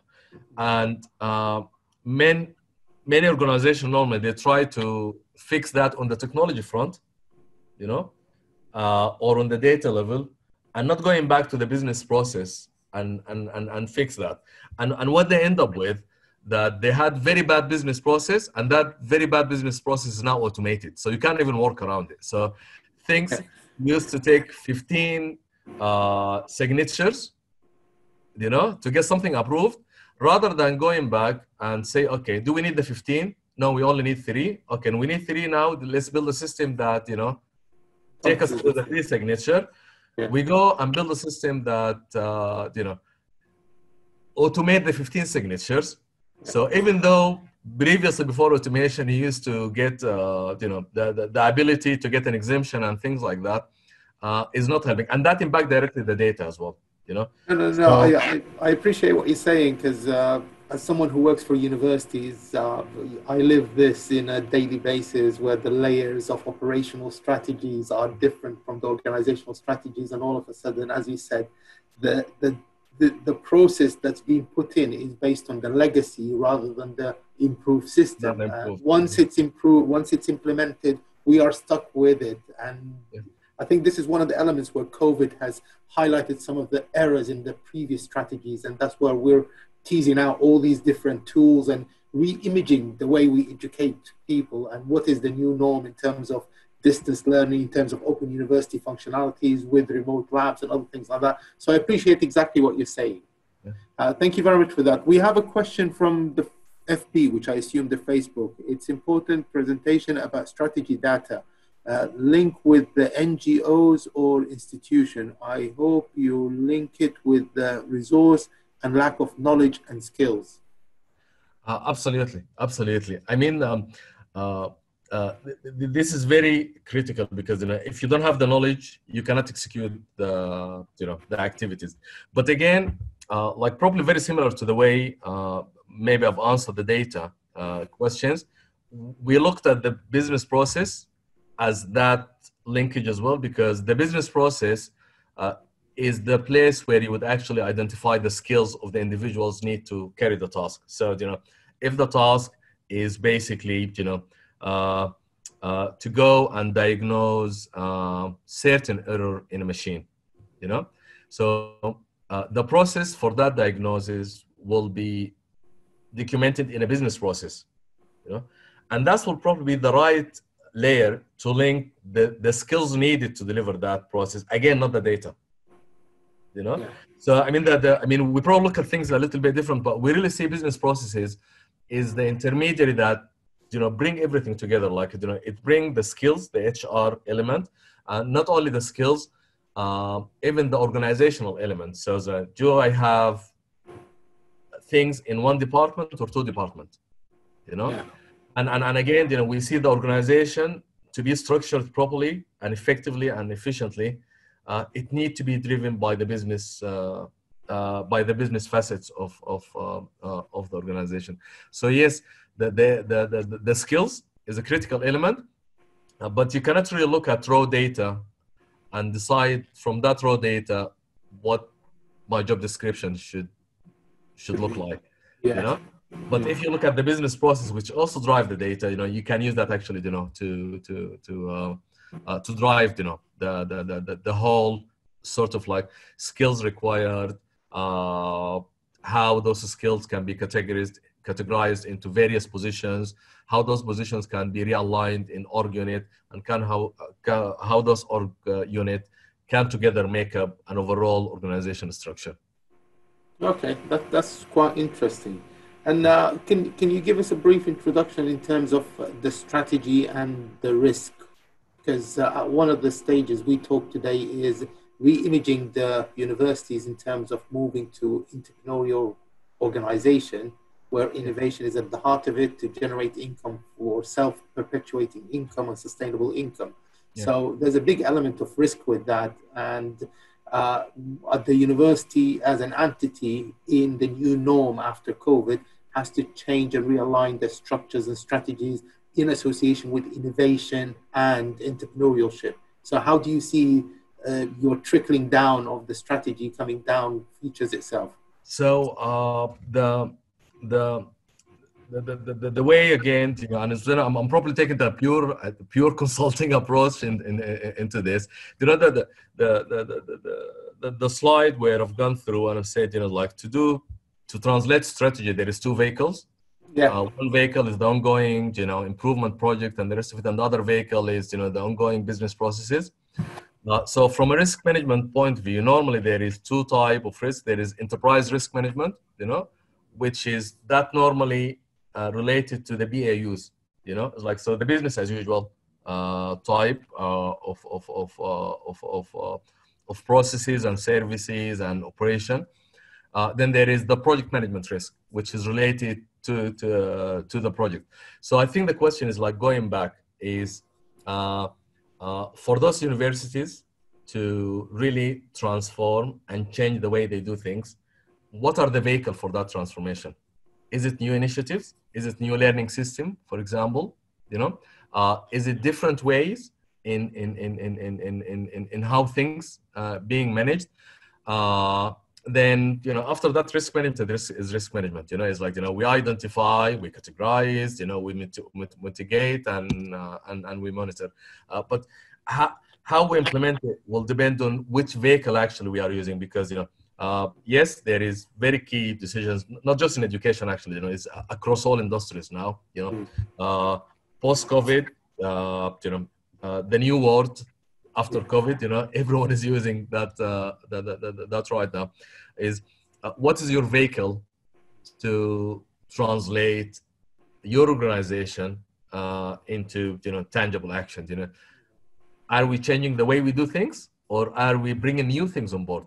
We're getting new systems, you know, we're getting uh, uh, new training programs, you know. So for example, you know, I, w- I had a client in UAE in Abu Dhabi uh, at the start of the COVID, um, and it was group of private schools, and they wanted to you know switch into e-learning, you know, you know for the various reasons like everyone, and one of the things that group did uh, which is uh, properly not many other schools did. Uh, I think even in the UK there was some issues as well.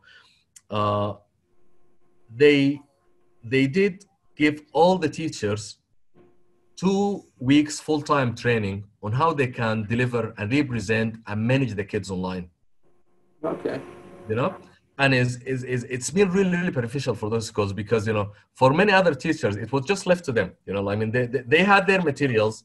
Uh, their method of delivery it was very specific you know they used to it you know their experience they've been doing it you know times and times again uh, over the year uh, suddenly once you take every you know you take the board away you know uh, you take the eye contacts uh, away uh, and even from the kids and the students you know you take the side conversation away so like you know like i was sitting next to my colleague you know the teacher you know or the lecturer you know was you know you know, going through it. But you know, maybe I would write small comment in a paper and I would give it over. That's an, that's part of the experience of being taught. You know, Yeah. for some of those guys. Uh, so uh, uh, these schools they did something about it. You know, they didn't just say. Uh, you know, they didn't. They did not just say, okay, uh, uh, our strategy now is to deliver online. Get on with it. You know, they took that, they translated it down into you know training programs, deliver those training programs, monitor them, measure them. Then here we go. You know, like you know, those teachers had the the, the enablers basically to Mm. execute that. And th- this links in with what we talked about capacity development earlier on in the first session before the data management sessions. Uh, it's very important because all of a sudden, to sustain our organizations, our functionalities, and maintain our vision and strategy and income and other things like that, we became, you know, reactive instead of proactive into the systems. And this is big element that COVID has exposed all organizations, not just academia, everywhere else. I mean, all of a sudden in March, we had to move teaching from, as you said, a board into an online platform. And teaching March, May, and June, the, uh, April, May, June, was a nightmare for all of us because we were not skilled. But the fact that we incubated over the summer, we developed our strategies, we started implementing things like VBox and in- integrating the classroom and making it synchronous, making it more interactive, has enabled us. So capacity development has enabled that, but that meant we had to react as fast as possible. And that's why visions and strategies became very important in terms of execution, the operational elements here. Yeah. Thank you very much, Dr. Mohamed Hajj. Please go ahead. Uh, th- thank you. I mean, wha- wha- one of the other thing is is is uh, I mean, you know, like w- we are working with Zoom now. You know, um, uh, so properly to train someone on Zoom, you know, literally, you know, that's how you log in. These are the various options. That's where you do the test. Blah blah blah. All of that. It doesn't take more than twenty minutes. Yeah. So you could invest that 20 minutes in upskilling the individuals, or you could give them the username and password and let them suffer with it for days before they can get used to it. And, and, and literally, then just picking up those key areas of, of investment uh, is, is, is, is is really critical. I mean, nowadays we started using elements like VBox and Collaborate and other things where we are trying to mimic a real life experience inside it and ensure engagement by asking the questions. So the vision, the strategy, the reactiveness of to the system has become a process of innovation where we had to innovate things in terms of the operations here. Absolutely. Yeah. Yeah. No, thank you very much. It's been fascinating to listen to you and listen to all our guests today. Uh, I think my job here is done, and I'll leave you in the capable hands of our organizer, Dr. Allam, to take us towards the end line now. Thank you very much, everyone. Thank you. Thank you. Uh, thank you very much, uh, both Mohamed and Mohamed. And I think, first of all, we would like to thank you both. Uh, I think we need to give a big applause for Mohamed Elhag first. Well, I think he did his best in, uh, I know these people are very busy, but uh, Professor Mohamed Hassan Sayed, thank you very much. I think for, I understand it because we are working. Today is a working day in the UK. All of, not only you, all of those people who are giving us their time uh, starting from yesterday, starting with Petro from the UN. I appreciate your time, and uh, we had to do it during the day. It has been a very busy day. We, we, we never thought we would finish uh, not just uh, on time, but even before the time. And I think that's thanks to you, Mohamed Hassan. I think we're going to rely heavily on you now on chairing uh, all our conferences now It would be my pleasure. really on time. Now it's almost five past three, and I'm really uh, appreciating that because Thursday is the last day of the week in most uh, Arab countries in the Middle East, so it's better to let them go free earlier.